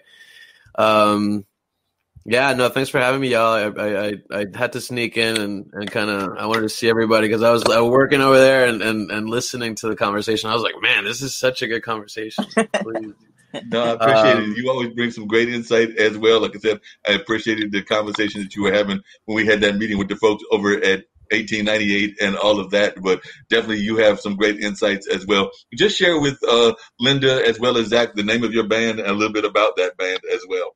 Yeah, sure. So I'm in a band called Sons of Paradise. We're a reggae dub band. Um, just kind of, you know, we try to keep the elements of uh, of of reggae music. What makes reggae music, which is like y'all were saying, it's it's it's revolution incarnate. You know, it's it's that's what this music is. Music has always been political, which is why when you you know people tell artists to be like, oh, you know, I just want you to play. Like, don't I don't I don't want I don't need to hear political views. It's like nah, like music is completely political at its at its essence, and uh, exactly. Um, you know, we try to uh, incorporate that message with uh, with current issues going on. Uh, we released a song uh, last year called Water World, and we included a lot of like news clips of uh, of everything that's been going on in 2020.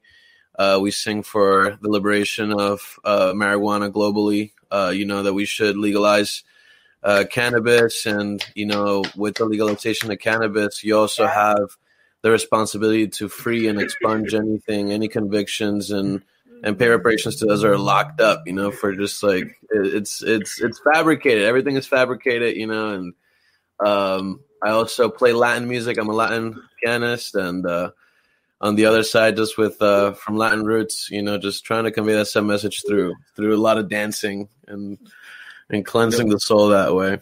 No problem and all of that. Um, definitely, Diego, and I'd love to hear from all of you the thoughts about this. We know that we've heard about the attacks on Asia America, but we've also got what's going on south of the border with those young kids and everything of that nature. You've actually got Peruvian roots, so I'd love to hear from all of us here on the panel yeah, our thoughts about what's going on with our Latin American brothers and sisters and all of that. So um, I'll start with you, Diego, but I'd love to hear from Linda as well, because I do know that some of them have migrated to Atlanta and to other parts of Georgia as well. So I'd love to hear mm-hmm. everybody's thoughts on what's going on with our Latin American brothers. Yeah, um, you know, so in my Latin group Tumbao, uh, we make it a mission to really write lyrics that and and at shows really to engage people in a sense that if you just like any other art that comes from the struggles of of people of color that if you don't love you can't love latin music without loving uh, latin american people. You know you can't uh, love black music without loving black people. You can't you just can't you can't make that separation you know that making that separation is tied to white supremacy white supremacy in that sense. Mm-hmm. and what's going on you know at the border um it's it's something that's not new. You know, it's something that didn't come under Trump administration. Has been going on um, since the very beginning of of imperialist America. Um, I'm, you know, a, a, part of a group of displaced peoples, just like many people around the world, and you know, due to you know, the actions of the American government in that sense.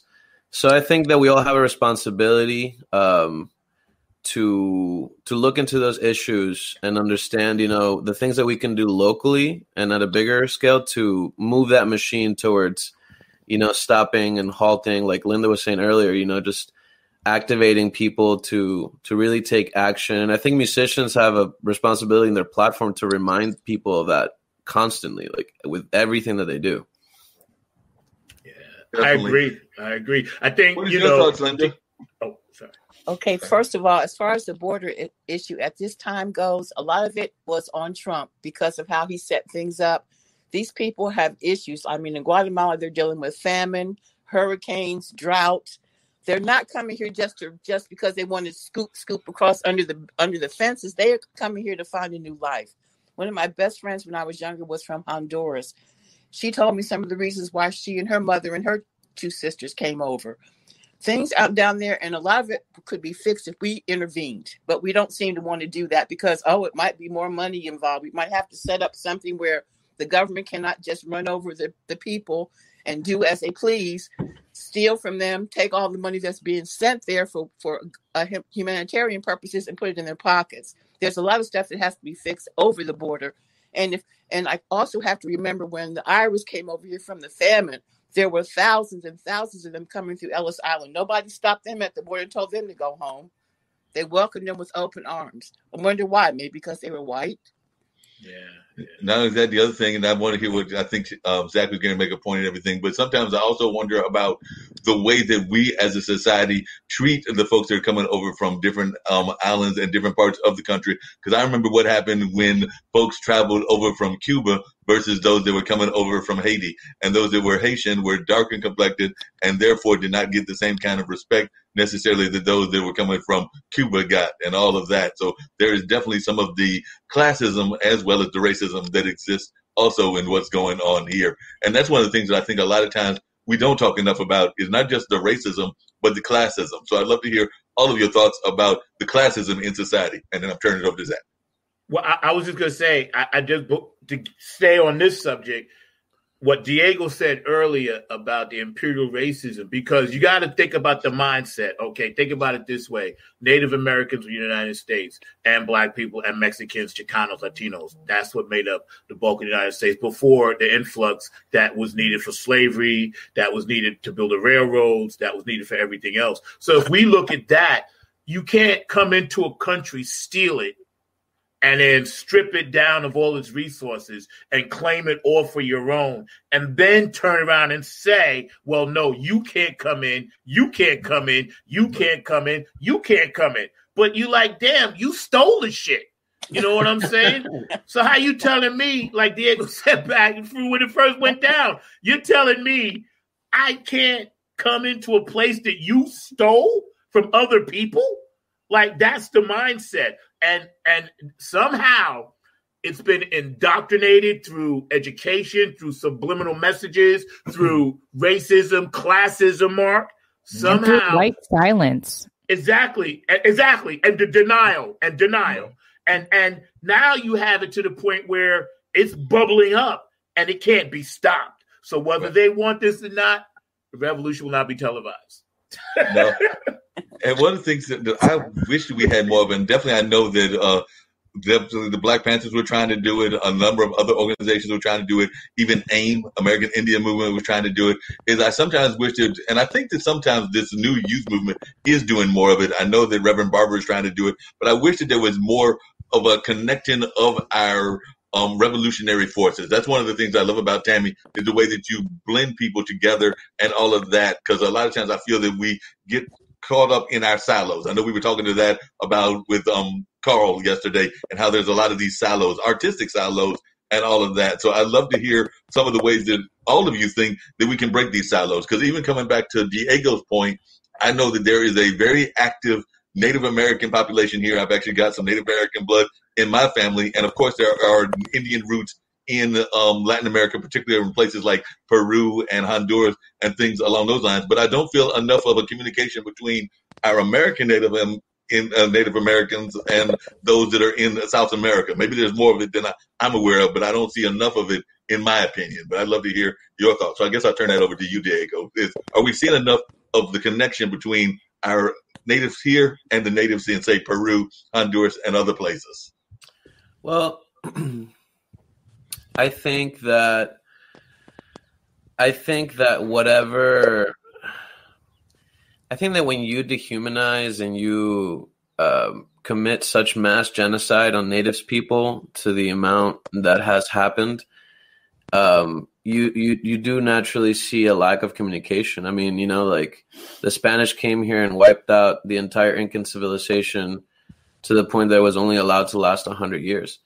So when you wipe out groups to that extent, when you you know kill 95 million people in a, in a one-time year and, and, and, and ongoing you know i mean it's it's a it's it's a displacement that happens in your own land you know and it's heart. and it's yeah it's it's crazy like i mean you know we were um you see the history of a lot of natives people in north america haven't been uh placed uh and we were talking uh with the, with uh Justin about this. Uh, we were talking. He's from Canada, um, uh, at 1898 Provident, and you know he was telling us how uh, in Canada and also in the United States this happened too. Native Native American uh, children were sent over to schools to you know erase their language and their roots and their history and and be whitewashed. So it's literally like this constant whitewashing to the point it's just like we are preventing children from being able to speak to their grandparents you know like if that's going on in that in that so internally like that's that i think that's why there's such a, a large gap between you know that that indigenous population throughout the americas in my opinion no, I agree. Linda, what are some of the ways that you think we can connect ourselves, whether it's connecting to our Asian brothers, our Native American brothers, our Latin brothers and sisters, but just the ways that we can actually connect because I do sometimes feel that we, even in the movement, get caught up in our silos. And I definitely know it happens in the music industry. Don't hear you.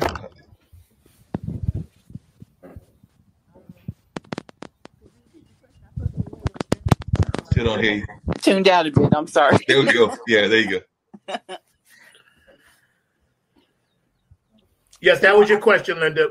I was just going to say, I think that they have kept us kind of compartmentalized.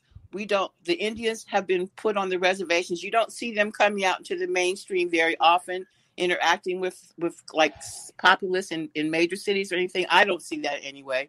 I'm on the East Coast now, but I think that because that we, there's a language barrier, because finally they're teaching our children to learn Spanish, because the Spanish population has so increased in this country but like I said, there's that's there's there's that barrier of the language with Latinos. But I also want to get back to the cultural issue, especially in Cuba. Cuba had just like India had this caste system where mm-hmm. if you were a dark skinned Cuban, you were usually doing menial work or treated like almost like a slave.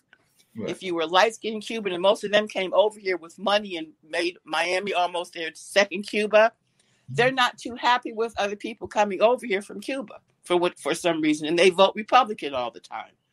I don't quite understand it, but I think it has something to do with that caste system that they all grew up in. Yeah, and also too, I think, um, and I was doing some research on that very subject, and like you said, this goes back to the Kennedys and Castro because mm-hmm. what happened is Kennedy wanted to stop the mob who just wanted to go and do their casinos and stuff in Cuba. And yeah. Castro wasn't going for that. No, you can't come over and strip our land of money and power, this and that. So Kennedy's job got put, he got put in office by the mob to make that happen. And what didn't happen, you see what happened to him. Mm-hmm. But those Cubans that came over that are the grandparents and great grandparents of this movement, they voted Republican because they were mad at Kennedy. So they wasn't going to ever vote Democrat. So it just became a thing. Now, once once the Democrats became this thing that we are, and those Cubans are still sticking to their guns. They it's are. their kids that are changing. But those Cubans are like, no, I'll never vote Democrat because the Democrats totally screwed us back in the day. And I think that they didn't forget that. And in the next in the generation after that, you have also the Julian uh, Elian Gonzalez incident uh, in the early 2000s, which you know uh, I think under Clinton uh, administration they allowed um, Homeland Security to go ahead and pretty much kidnap Elian Gonzalez, this kid that came floating in a tire in Miami in the early 2000s. Oh, I remember that. You know, yeah. So yeah. he was, you know, he was on the way to Cuba with his mom. Uh, they had left the their uh, abusive relationship and the father back in Cuba. Mother died in the sea, and he made it to the yes. to the Miami shore on the tire, uh, where there was family, where they were going to stay. Mm-hmm. So he was staying with uh, his aunt and like some family members, and you know uh, the um, Fidel and and you know they made some some some demands and and they sent him back. They kidnapped him out of his home and sent him back to Cuba, and and that created a big another yet another American involved tear in the Cuban community, and mm-hmm. and that that definitely strengthened a lot of Republican sentiment in that sense as well. Oh yeah, that definitely yeah, I forgot about that. That's yeah, I forgot about that too. One of the things, and I was actually on one of the shows that I do on uh, the international broadcast media that I had was some folks that were involved in the cannabis industry. I actually had two folks involved on the show. It's one of the pre-recorded interviews, so it actually hasn't aired yet. But there was a young lady that's very much involved in cannabis, I believe, and the West Coast, if I remember correctly, and all of that. But um, it was one of the things that was going on was she was talking about the corporation and the corporate style of what's going on with the cannabis industry in Canada. So as more and more states are becoming um, legalizing cannabis, we're seeing more and more of the corporate boardrooms looking like corporate boardrooms in America. They're becoming very white dominated and very much of a white male dominated. There are people coming in from real estate. There are people coming in from banking, law, and a number of other fields. So I'd love to hear all of your thoughts about this whole kind of uh, corporatization of the cannabis industry because I am with y'all. Even though I don't smoke, I definitely am a opponent. I mean, definitely a supporter of us having can, um, positive cannabis laws. But I was wondering your thoughts about the um, corporatization of the industry because that's the issue that I do have is that too many of these folks are coming in that are majority white okay. Don't smoke cigarettes either, but you got a beer for me, you can bring it up. No, that ain't the, that's the code. You don't know. That wasn't okay. cigarettes. That wasn't cigarettes. Parliament, bro. Funkadelic. Come on. Yeah, I, I do. We lost Linda. What happened? I don't know. Hopefully she'll come back. But um, but either one of you while we're waiting for hopefully she's going to come back. But definitely, what are your thoughts about this fact that too often and that's actually the second guest that has told me about this. That is now uh, in Canada about ninety percent um, white males that are taking over the cannabis industry because they see the power of the money. Yeah, and I mean, I'm just gonna say one thing really about that is ultimately it's a great example of why if we don't change systematically we are only going to perpetuate the same issues over and over again um, I do know a company that's actually in Canada, specific to handling the Canadian situation. Um, but they help local farmers or just folks, you know, who have been doing the work um, to help them with certifications and audits and everything so that they are prepared and set up to be seen as a legal entity and don't have as much of that um, those barriers that you know they they make it hard. They gatekeep it right?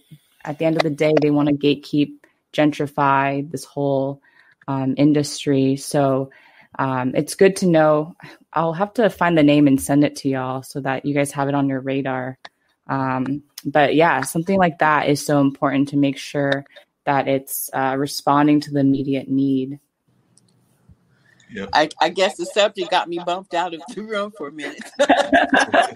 I Took a 20 break. Hit, I must have hit something by mistake while I was laughing. you know, it's just it's just just another situation where there's money in, on the table and a lot of it. So of course everybody's going to try to get the, a bigger piece of the pie as they can. I think yeah. that it was crazy for marijuana of all things to be illegal from the get go because it's got more medicinal purposes than any other natural herb in the in the world.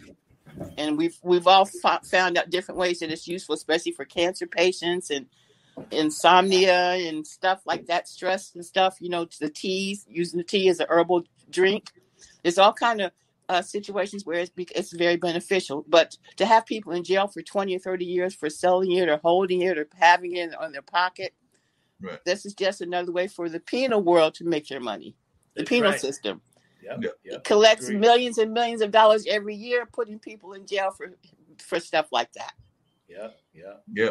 There's no doubt about that. Mark, Mark, free labor is free labor most of the time. They're not even getting paid to, to, do things that they're doing in prison, but the prisons are making bucks, you know, yeah, all the yeah. time and getting bigger and bigger.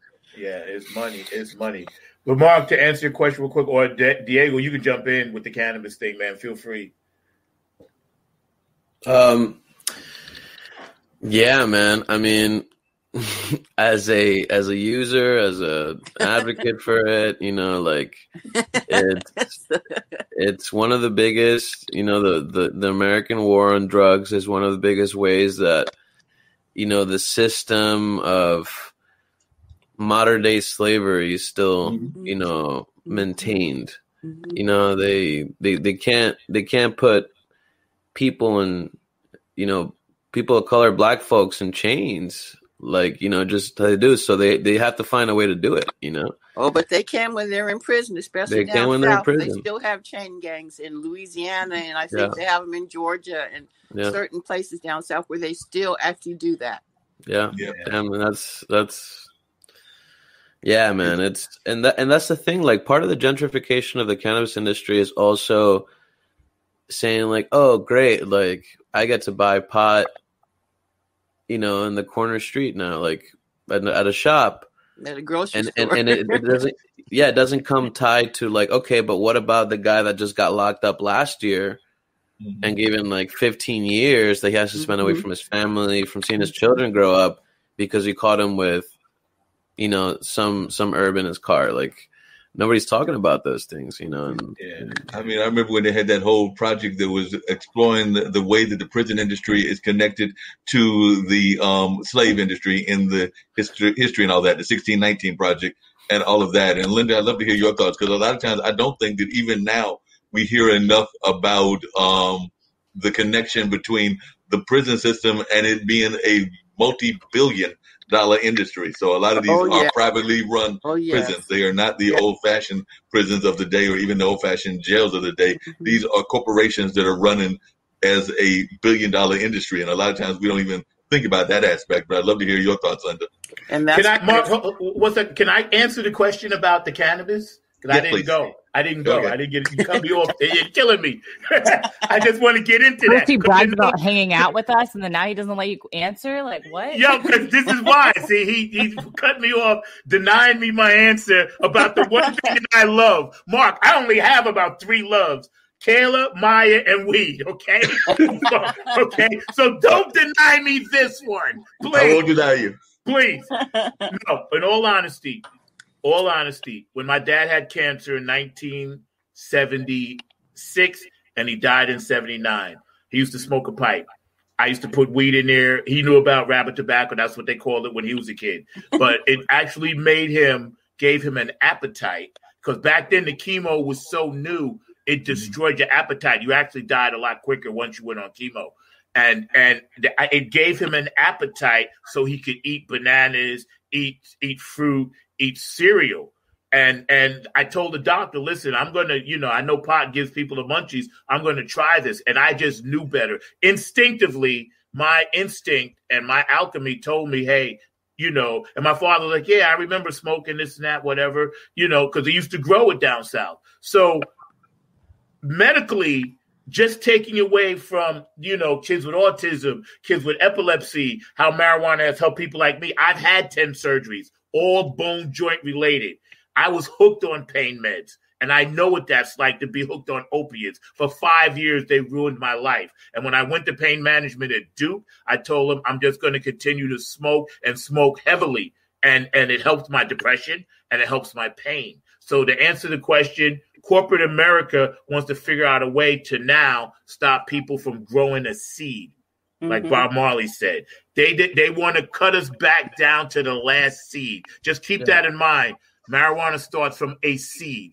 Okay, and, and that's, that's, what I wanted to say. And that's the thing, like like people, uh, minorities and people of color are the most under prescribed group as well when it comes to being treated by the medical system. So, you know, naturally, just because also a lot of our backgrounds, but because of factors like that, you know, com- our communities end up using more herbal medicine than white communities, and mm-hmm. then then you have the side of just like, well, since we know that they're set up to do that, we're also going to find ways of incarcerating them that way, you know, mm-hmm. of of criminalizing it, right? So, mm-hmm. yeah, so the cycle, the toxic cycle. Totally. totally. And it keeps Definitely. on going and, uh, on. Linda, I would love to hear your thoughts about the corporatization of the prison system because I think that's where I was going before I dissed uh, Zack, and I apologize for that and everything. So apologize for that. well, I think it was the government that decided to hand it, hand that whole situation over to private industry because they didn't want to have the repercussions of when people were dying in prison or you know hanging in prison and all this, like you said, the chain gangs and stuff. They got such a bad rap that they decided to turn it over to corporate America, who was welcoming it because of the money involved and the fact that they can provide minimal services. Look at how long it took them to take the prisoners out of the prisons when COVID struck and some of them still couldn't get released. You know, keeping people in in situations where there's like five people in a two by four cell and expecting everybody to be come out normal when they do ever leave. The whole system is set up to fail and to yeah. be a revolving door for people to come back. People, kids go to jail, find out how to do other stuff, and they come out, come back, and come in doing something even worse. Yeah, yep. yeah, that's very it's true. A perpetuating system that has been been uh just used to, like I said, to lock up as many black people as possible and Latinos and anybody that they think might be political, too political, like Eldridge Cleaver back in the day and Bobby Seals and certain people that went to jail just trying to like fight for rights, fight for equality. And like I said, oh, he's talking too much, getting too much, too much press, too much publicity. Throw his ass in jail. And that's what that was the bottom line, how to solve it. Get him out mm. the public eye. Linda, you bring to an interesting point that I'm oftentimes fascinated by. We oftentimes talk about other countries, we talk about other parts of the world, and about their um, ways that they are having human rights violations and all of that we don't always look right in our own backyard. I mean, we've got folks like the Move gentlemen and a number of others. So we actually have political prisoners here in the United States. And I know that you were involved in the movement and everything along those lines in terms of civil rights movement. But I'd love to hear your thoughts about the fact that we oftentimes don't explore enough of our own baggage, whether that's what we did to the Native Americans, but also the fact that there are actually political prisoners that are existing in our current jails right now that are sitting in jail that um, are there because of their political standpoints. I'm even thinking, um, coming back to the Native American standpoint, about Leonard Peltier, who's a Native American that's in, been in jail for years and is a Native American activist, but he's been in that jail cell for years. And there are a number of others as well. So I'd love, just love to hear you talk about um, maybe our double standard in the way we look at people's human rights violations, but don't even look internally at our own. How could we possibly be a beacon for freedom and democracy when we don't have it ourselves? And especially in the past four years, once again, we have become the joke of the world because of how we've been treating uh, the, the lesser of us in this country. You know, the people with no power, trying to make sure they have none at all. Even if they find a little bit, they're going to snatch it away some kind of way, throw your ass in jail, or make you look like you're, you know, a crazy person because you're saying something that makes sense, but we don't want people to talk about that. So let's pull this so and so out of the out of the picture. You know, things like that that we've been doing forever.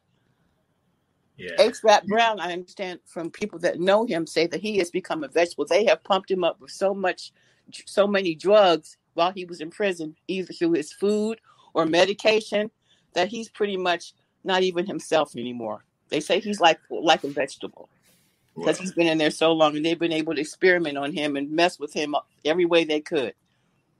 Yeah. And uh, Tammy, when you talk to some of your uh, youth peers and everything, are they even aware of some of the political prisoners that are in the jail now, or even about COINTELPRO, which is the way that they kind of co-opted a lot of our civil rights um, movements and things of that nature? Or is this something that they're not getting enough knowledge of and need to be more aware of? I'm just wondering your thoughts, both you and Diego.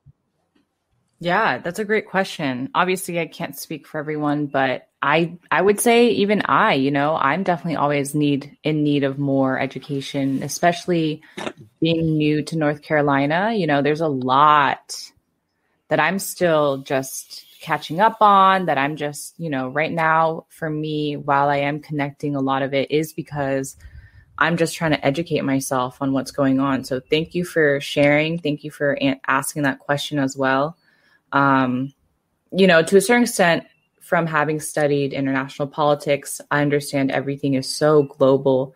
So I will never step away from that understanding of everything's always, there's always a bigger picture, right?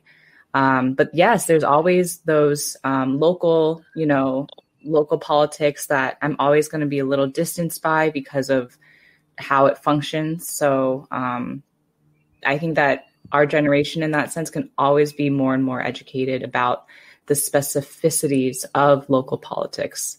Because um, sometimes I think, you know, especially if you're on social media all day, which is kind of, you know, what happens to a lot of um, this generation. And I even see it in my parents too, in a different way. Um, but there's just a lot of global exposure, or depending on how, you know, your feed looks, how you've curated um, your knowledge of the world only goes so far. So I think with local news, you know, I'm not trusting local news to cover everything that matters, but at the same time, um, there's just always something going on that you know is being kept from us. So there's always more to learn. And there's one thing that I find holds true: if you make us afraid of another race or another country or whatever, those are the things. The, separation is what keeps this keeps the momentum going with all this uh, imperialism. You know, yes, divide and conquer. They make you fear black people. Oh God, they're moving in our neighborhood. It's going to be oh our rent. Oh our our our house is going to be worth less. And oh God, they're coming into my store. Let me call the cops because they're probably going to steal. And these Latinos, I don't speak their language. Wow, are they talking about me? I wonder yeah. if they're getting ready to do something. You know, that's the kind of stuff that's been going on. The Asian population, especially right now, is taking the brunt of it that we've taken for almost 400. But it seems like all Trump had to say was this is a China virus, and all of a sudden it's anti-Asian day in this country.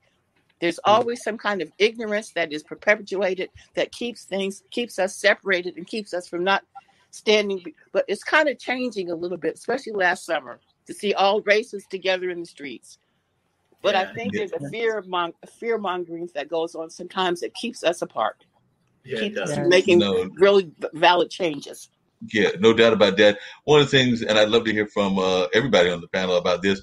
I, I'm a big supporter of education. I know you are as well, Tammy, you, Linda, Zack, also big supporters of education. And part of that education is what I just said, us educating each other about ourselves and everything of that nature. When mm-hmm. folks think of Peru, they usually think of Machu Picchu and they might think of a couple of other things in that sense. When they think of China, they think of Mao Zedong and they might think about a couple of other things that exist within the culture. And definitely when they think of the Black Panthers, and definitely some of the other civil rights things. They think about maybe some of the movement aspects of what was going on, but I don't know that we know enough of the history. So um, and I know this could be a whole hour long discussion, but if you were to pinpoint something about Peru and about China, and definitely I'll come to you as well, and about Georgia and the other parts of your movement that we don't know that you wish more people did know, what would that be? So I guess I'll start with you, Diego. What's something about Peru? It can be a movement person. It can be something about the lifestyle. It can be something about the culture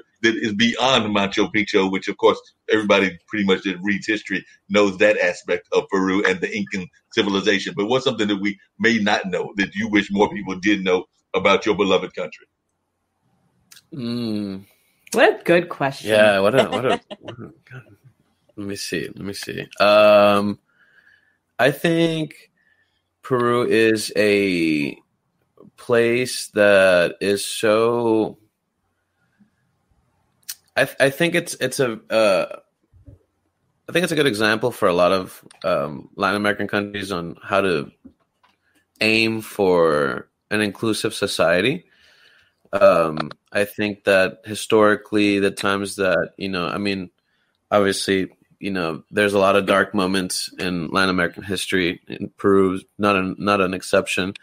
But I I like to see the the the Peruvian culture is made up of all these different elements of peoples that came in and made Peru their home, and it really shows when it comes to the food, um, um, when it comes to the the you know the the roots that we have with our indigenous population, uh, the you know descendants of of natives people, the Incas. Um, you know, I mean, the Incas didn't have uh, didn't have a written down language, so all this culture is passed down without being written down, and it's so strong in that sense. You know, um, so that you know, like Chinese culture has become, you know, has a a, has a Peruvian branch. Like you know, it's like it's very very tied. Uh, me and Tammy, when we first met, we started talking about China Peruvian dishes. You know, and and it's it's yeah, it's just there. There's a lot of people that I, I think I think a lot of people picture somebody as a Peruvian, like somebody like on top of a llama but I think just like many other countries, you know, like uh, like you can you can have a China Peruvian uh, person and and be like, you know, you're Peruvian, and, and it's like, yeah, like there's everybody here, like every every single person, every ethnicity that you have is you know calls Peru a home in some place, and it's kind of it's really cool to see. I think that's what I would like people to know you know, what about you in China, uh, Tammy? Definitely you got some of those roots and everything. So, what are some of the things that folks because oftentimes we're oftentimes hearing those negative stereotypes that that orange person was giving us, and definitely the history of Mao Zedong and the Cultural Revolution. But after that, we oftentimes don't even think about China, even though it's making made up of billions, so it's definitely made up of the majority of the world. So I don't know that we give it as much respect as we should give it.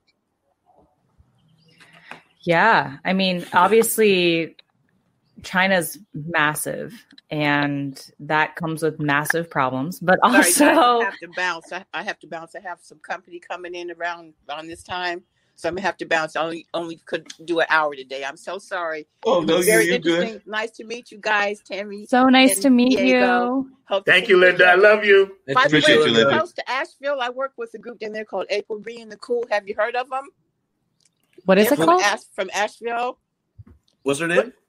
April B and the Cool. Oh, okay. They're really check check them out on. I think they have some YouTube stuff going on. Check them out because they're they're really great band. I enjoyed working with them. It was about a year ago in September. We went on did a couple of weeks down there in the South. But you guys, much love, Zack. Everybody, thank you so thank much. you, Linda. Have a good one, Linda. Take care. See you later. Time. I'll Appreciate always you. available to you. Bye bye. Thank you. Appreciate Bye. you. So you were saying about how massive China is, and definitely it's a large continent as well. Yeah, I mean, you know, large country for sure, and has obviously a long history. And I can't speak to all of it, of course. Um, I would go back as a kid pretty much every other summer. Um, my parents, my mom wanted to make sure that we had our connection with, you know, my grandparents and just China and the language and the culture and all of that. So it's definitely a good question.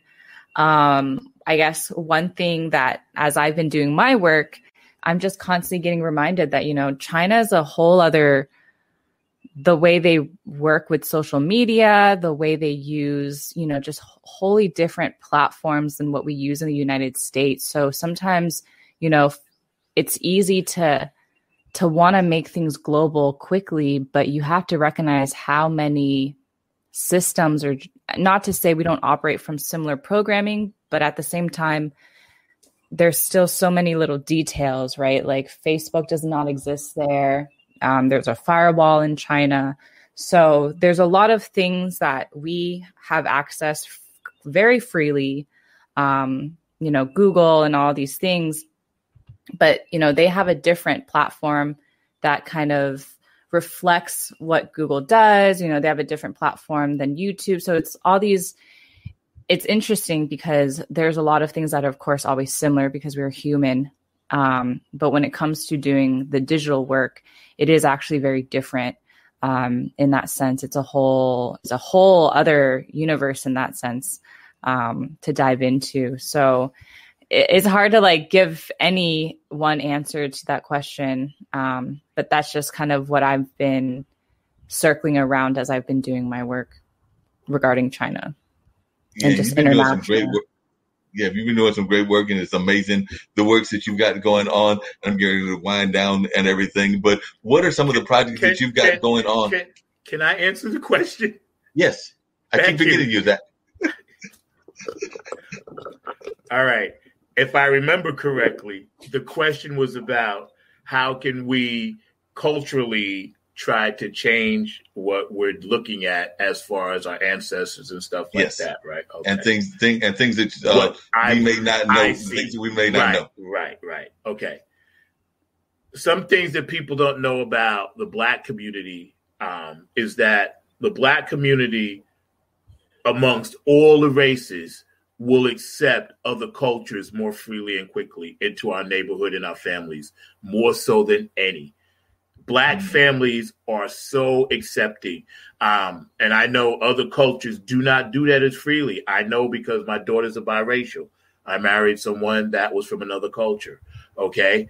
And I've studied this. I'm 63 years old. So in this this land, this time, this space, black cultural, one thing people need to know about us, we are the warmest, most open arms culture. Like a black family be like, oh, she's Spanish, whatever. Now they the elders may talk, but that person will be able to come down and break bread a lot easier than it is for other cultures to open up. And that's one thing people need to understand about the black culture. We are that. Yes, there are caste and racisms within our mm-hmm. culture. I was called a black um, naughty headed sucker when I was growing up by black people because I was dark, I was black you know, whereas everybody was looking at Billy Dee Williams and looking at Michael Jackson or Smokey Robinson because they were light. So in the black culture, they will call high yellow. They will call house mm. ends, whereas mm. black people like me will call field ends. So mm. there's that thing. And, and and because of that, the crabs in the barrel, barrel theory has kept us from achieving. But our culture will still embrace you. So if you're out there and you're down with black people, you know they're gonna ride or die with you. Thanks, Marc. Yep, and I'm sorry, but I, actually the next question is going to come directly to you and everything. It'll be your question solo and everything. I, I got to get that system. I, five up or one down is the worst. Marc, yeah. One down today. Sorry, I get yep. the one down Guys. I gotta, Sorry I gotta head back but we need to get the other lollipop for everybody else as well because he does have his whole lollipop system. So we're going to talk about that. I will agree with something that Zack said, but there's also a caveat to that as well because definitely we definitely do um, have a lot of family support and a lot of ways of greeting and definitely including other folks. One of the things that I have noticed from Asian cultures and Latin cultures that I wish we did more of, and we used to do it historically, but we don't do it enough now, in my opinion, is the support within the family and like being willing to take in entire family members and all of that. Because sometimes you'll see a Latin American family or an Asian family, there might be nine or 10 living in a very small environment and all of that. And they are willing to make that sacrifice because they know eventually they're going to move out, but they want to they want their folks to have that support. So they're willing to, you know, have that communal living. And I don't know that we do enough of the communal living as we used to. And part of that is because of the ways of society and the great migrations that took place in the African American history and all of that. So some of us moved to New York or we moved out west or we moved to a number of other places. So we don't always have the direct connection to our immediate family as much as we would love and all of that. So that's one of the things that I would wish that we had more of. And I also wish that we knew more of our own local history. One of the things that I love about what you do, Tammy, I love what Zack does as well, and everything is that we don't, we have a lot of people that know our history, but these folks are actually getting older and all of that. So as they get older, they are making the passage on to the next plane, whether that's going to another planet, like Zack has told me he's going to, or whether that's going somewhere else within heaven and all of that. And we've lost connection in the history that we have because sometimes we'd lose that. So I'm thinking about like um, Baba Chuck and Skip Scarborough and a number of others that were our guardians. And now that they're gone, we don't necessarily have their stories because I don't know that we've had enough of that written down. And I know that people like you, Zack, here on this platform, Tammy, with what you're doing with just Gilded Cages and a number of other, you're actually capturing some of these folks while they're living. You know, there's old saying about let's give the roses to those while they're living, not while they're gone. And I don't know that we've done enough of that, and therefore we've lost some of our connection. So I'll talk about with you, um, Zack. Do you feel that that's something that you also fear is that we've lost some of our history?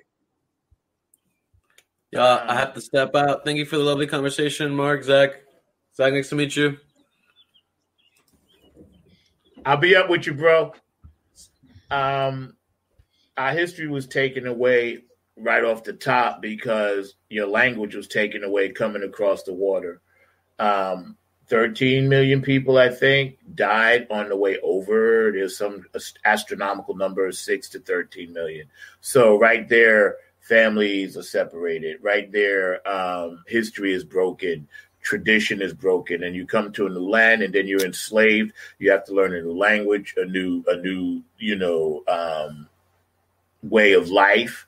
Um, you have to learn all of these things, and when you try to incorporate the new way, then they beat you down for it. They they tell you no, you can't learn how to read. So now you're in a strange land. Your old language is taken away, and they won't even allow you to learn the new language. They won't even allow you to educate yourself on the new ways. So it's a catch twenty two. You're damned if you do, and damned if you don't. That's why I think our history and our culture as Black people will never, ever, ever be what it should be as kings and queens on this planet because of that reason alone. No, I definitely agree with you, and I know everybody's got to get ready to go. One of the things that you always do at the end of your show is, um, or lately you've been doing, is giving a hashtag, Zack. So I'd love to hear what the hashtag is for this particular um, week is, and I'll put it on a banner, but I know it had to do with autism. And then I'm going to actually acknowledge something that I've been doing that I borrowed from you, Zack. So I'm actually going to tell you what that is in a minute, and you will be pleasantly surprised and pleasantly glad that I've been doing this for a while. And I did not realize totally where I got it from until you did it earlier today. And then I was like, oh, that's where I got it from. So I'm about to acknowledge something that I have learned from you because you're oftentimes talking about what you've learned from me, but I've learned from you as well. So I'm going to acknowledge what that is in a minute, but tell us the hashtag. Um, Autism Month, you know, national, regional, whatever. Just keep in keep in mind that every month there's something going on. Autism is a big thing in this country. Too many kids have it it's a chemical thing. I think a lot of the stuff that goes into the food, the water, what have you, nobody knows why all of a sudden a whole generation of kids have autism and and and they're suffering from that. And it seems to be getting worse. So if you're out there and you have a child with autism or you're dealing with a family member, know that we care at IBM TV. Know that we love you for it we appreciate your effort and what you're doing because you are truly warriors dealing with situations that involve, especially children, um, you know, with that disease and especially grown-ups as well with that condition, not a disease. So just keep in mind that we care about you, we love you, and we're aware of it. And God bless you. No, and what I was going to acknowledge, and now I'm going to ask both you and Tammy this question and everything, and I did not know where I was getting this from because I've just watched you like you watch me.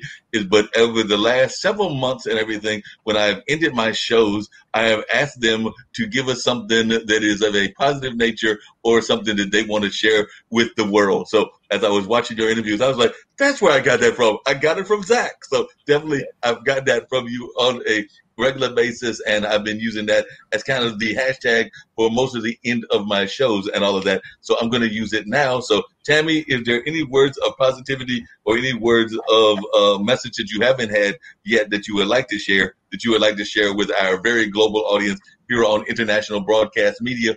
This is your opportunity to do that. Yes, thank you. I actually do have something, but specifically, it is actually also Poetry Month. ah. It is ah. always some month, right?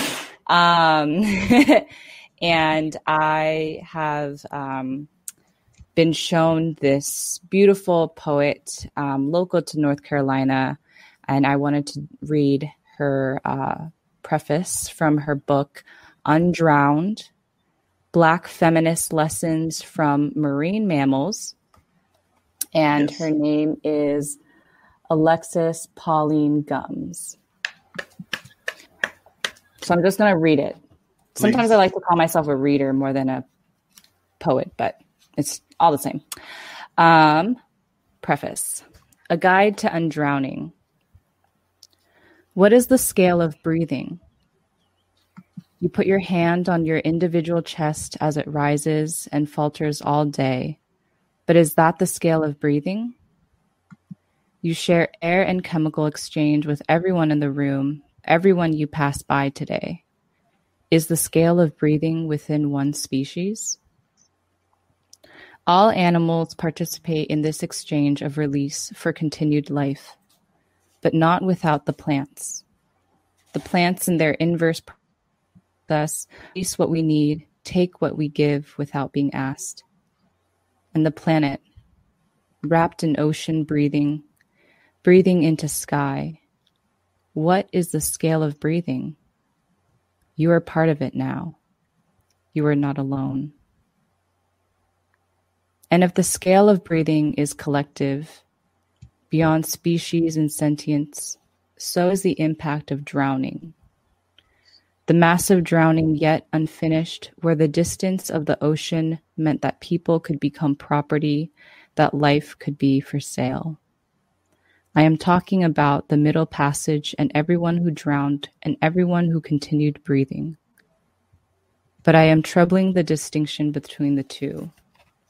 I am saying that those who survived in the underbellies of boats, under each other, under unbreathable circumstances, are the undrowned, and their breathing is not separate from the dr- drowning of their kin and fellow captives. Their breathing is not separate from the breathing of the ocean. Their breathing is not separate from the sharp exhale of hunted whales, their kindred also. Their breathing did not make them individual survivors. It made a context. The context of undrowning. Breathing in unbreathable circumstances is what we do every day in the chokehold of racial gendered ableist capitalism. We are still undrowning. And by we, I don't only mean people like myself whose ancestors specifically survived the Middle Passage because the scale of our breathing is planetary at the very least. Are you still breathing? This is an offering towards our evolution, towards the possibility that instead of continuing the trajectory of slavery, entrapment, separation, and domination, and making our atmosphere unbreathable, we might instead practice another way to breathe. I don't know what that will look like but I do know that our marine mammal kindred are amazing at not drowning. So I call on them as teachers, mentors, guides, and I call on you as breathing kindred souls. May we evolve. Well, and by the way, Alexis is actually from here in this area because I actually know Alexis and her partner, and have actually talked about trying to get her on one of our shows because I've actually been, yes. I've been trying to get her to come on the show for a while. So now I can tell her that we've read one of her works and maybe that will encourage her to come on even more because I'm a big fan of Alexis and definitely oh. know her and a lot of the great work that she's been doing in the community. So definitely Alexis Pauline Gumbs. If you're listening, you just heard Tammy give a great rendition of uh, your preface and all of that. And hopefully you Such will come one. on the show that I know I've been talking about trying to get you on for a while, but I know she's also. You think that um Zack, you think I'm busy? You ought to see this woman because she travels around the world and she's oftentimes too busy. So usually when I call her, she's like, "I want to get on the show. I want to get on either yours or Zack's or one of the other shows, but I've got a busy schedule and all of that. So I know how those busy schedules can be." Um, what is some word of positivity that you would like to share, Zack, to borrow your own uh, words and your own outros that you use because I've been borrowing that now for a while with a couple of my guests. So, what are some words of positivity that you would like to share in your world? Well, first of all, shout out to DMX and his family. Um, yes. You know, he was having some serious addiction problems. We all been there. We know what that's like. And and I hope you pull through, brother. Know that um, you know your music has influenced a, a lot of us, and we appreciate your artistic work and creativity and your add to the canvas. And so so you know, being a New Yorker, you're from New York, yo, um, I love you. Um, words of encouragement today. Um, he is risen. So if we take that in a in a in a metaphorical state to rise to to be reborn to um, be a beacon of light all right so well put um, you know is what we have to do so please just don't kill anybody today can we just do that that's my word of encouragement. If I can make it to tomorrow without hearing somebody died, I'll be okay. Mm. No doubt.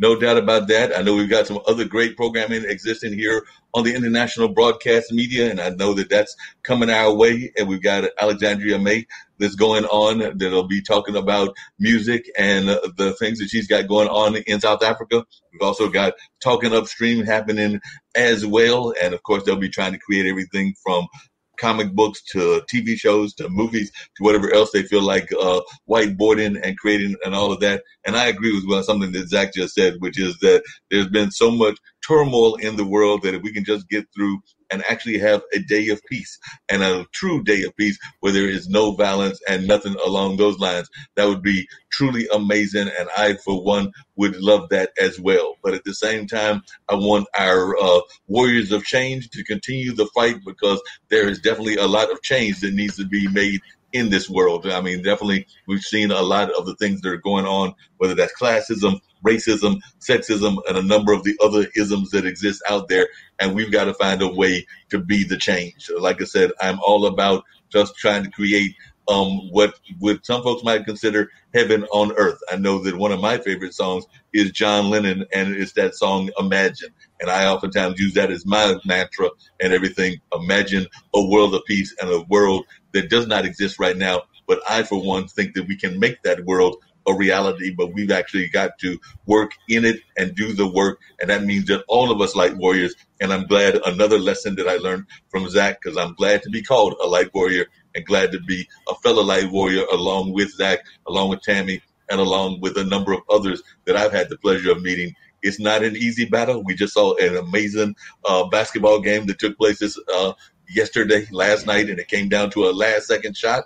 And that's the kind of battle that us light warriors are going to have to have in the battle against dark. We've got to be in it to win it and be in it till the end of it as well. So that's my analogy between what happened in the semifinal game or one of the semifinal games and what we are going through in the world. So I would just urge us all to, you know, as they say in the sports, buckle up, get ready, and let's win it and be in it to win it that's my thought is let's be in it to win it, but let's find ways to encourage each other, support each other, and definitely make this as positive a world as we can. And on that note, I'm going to end it and hit the famous in broadcast button.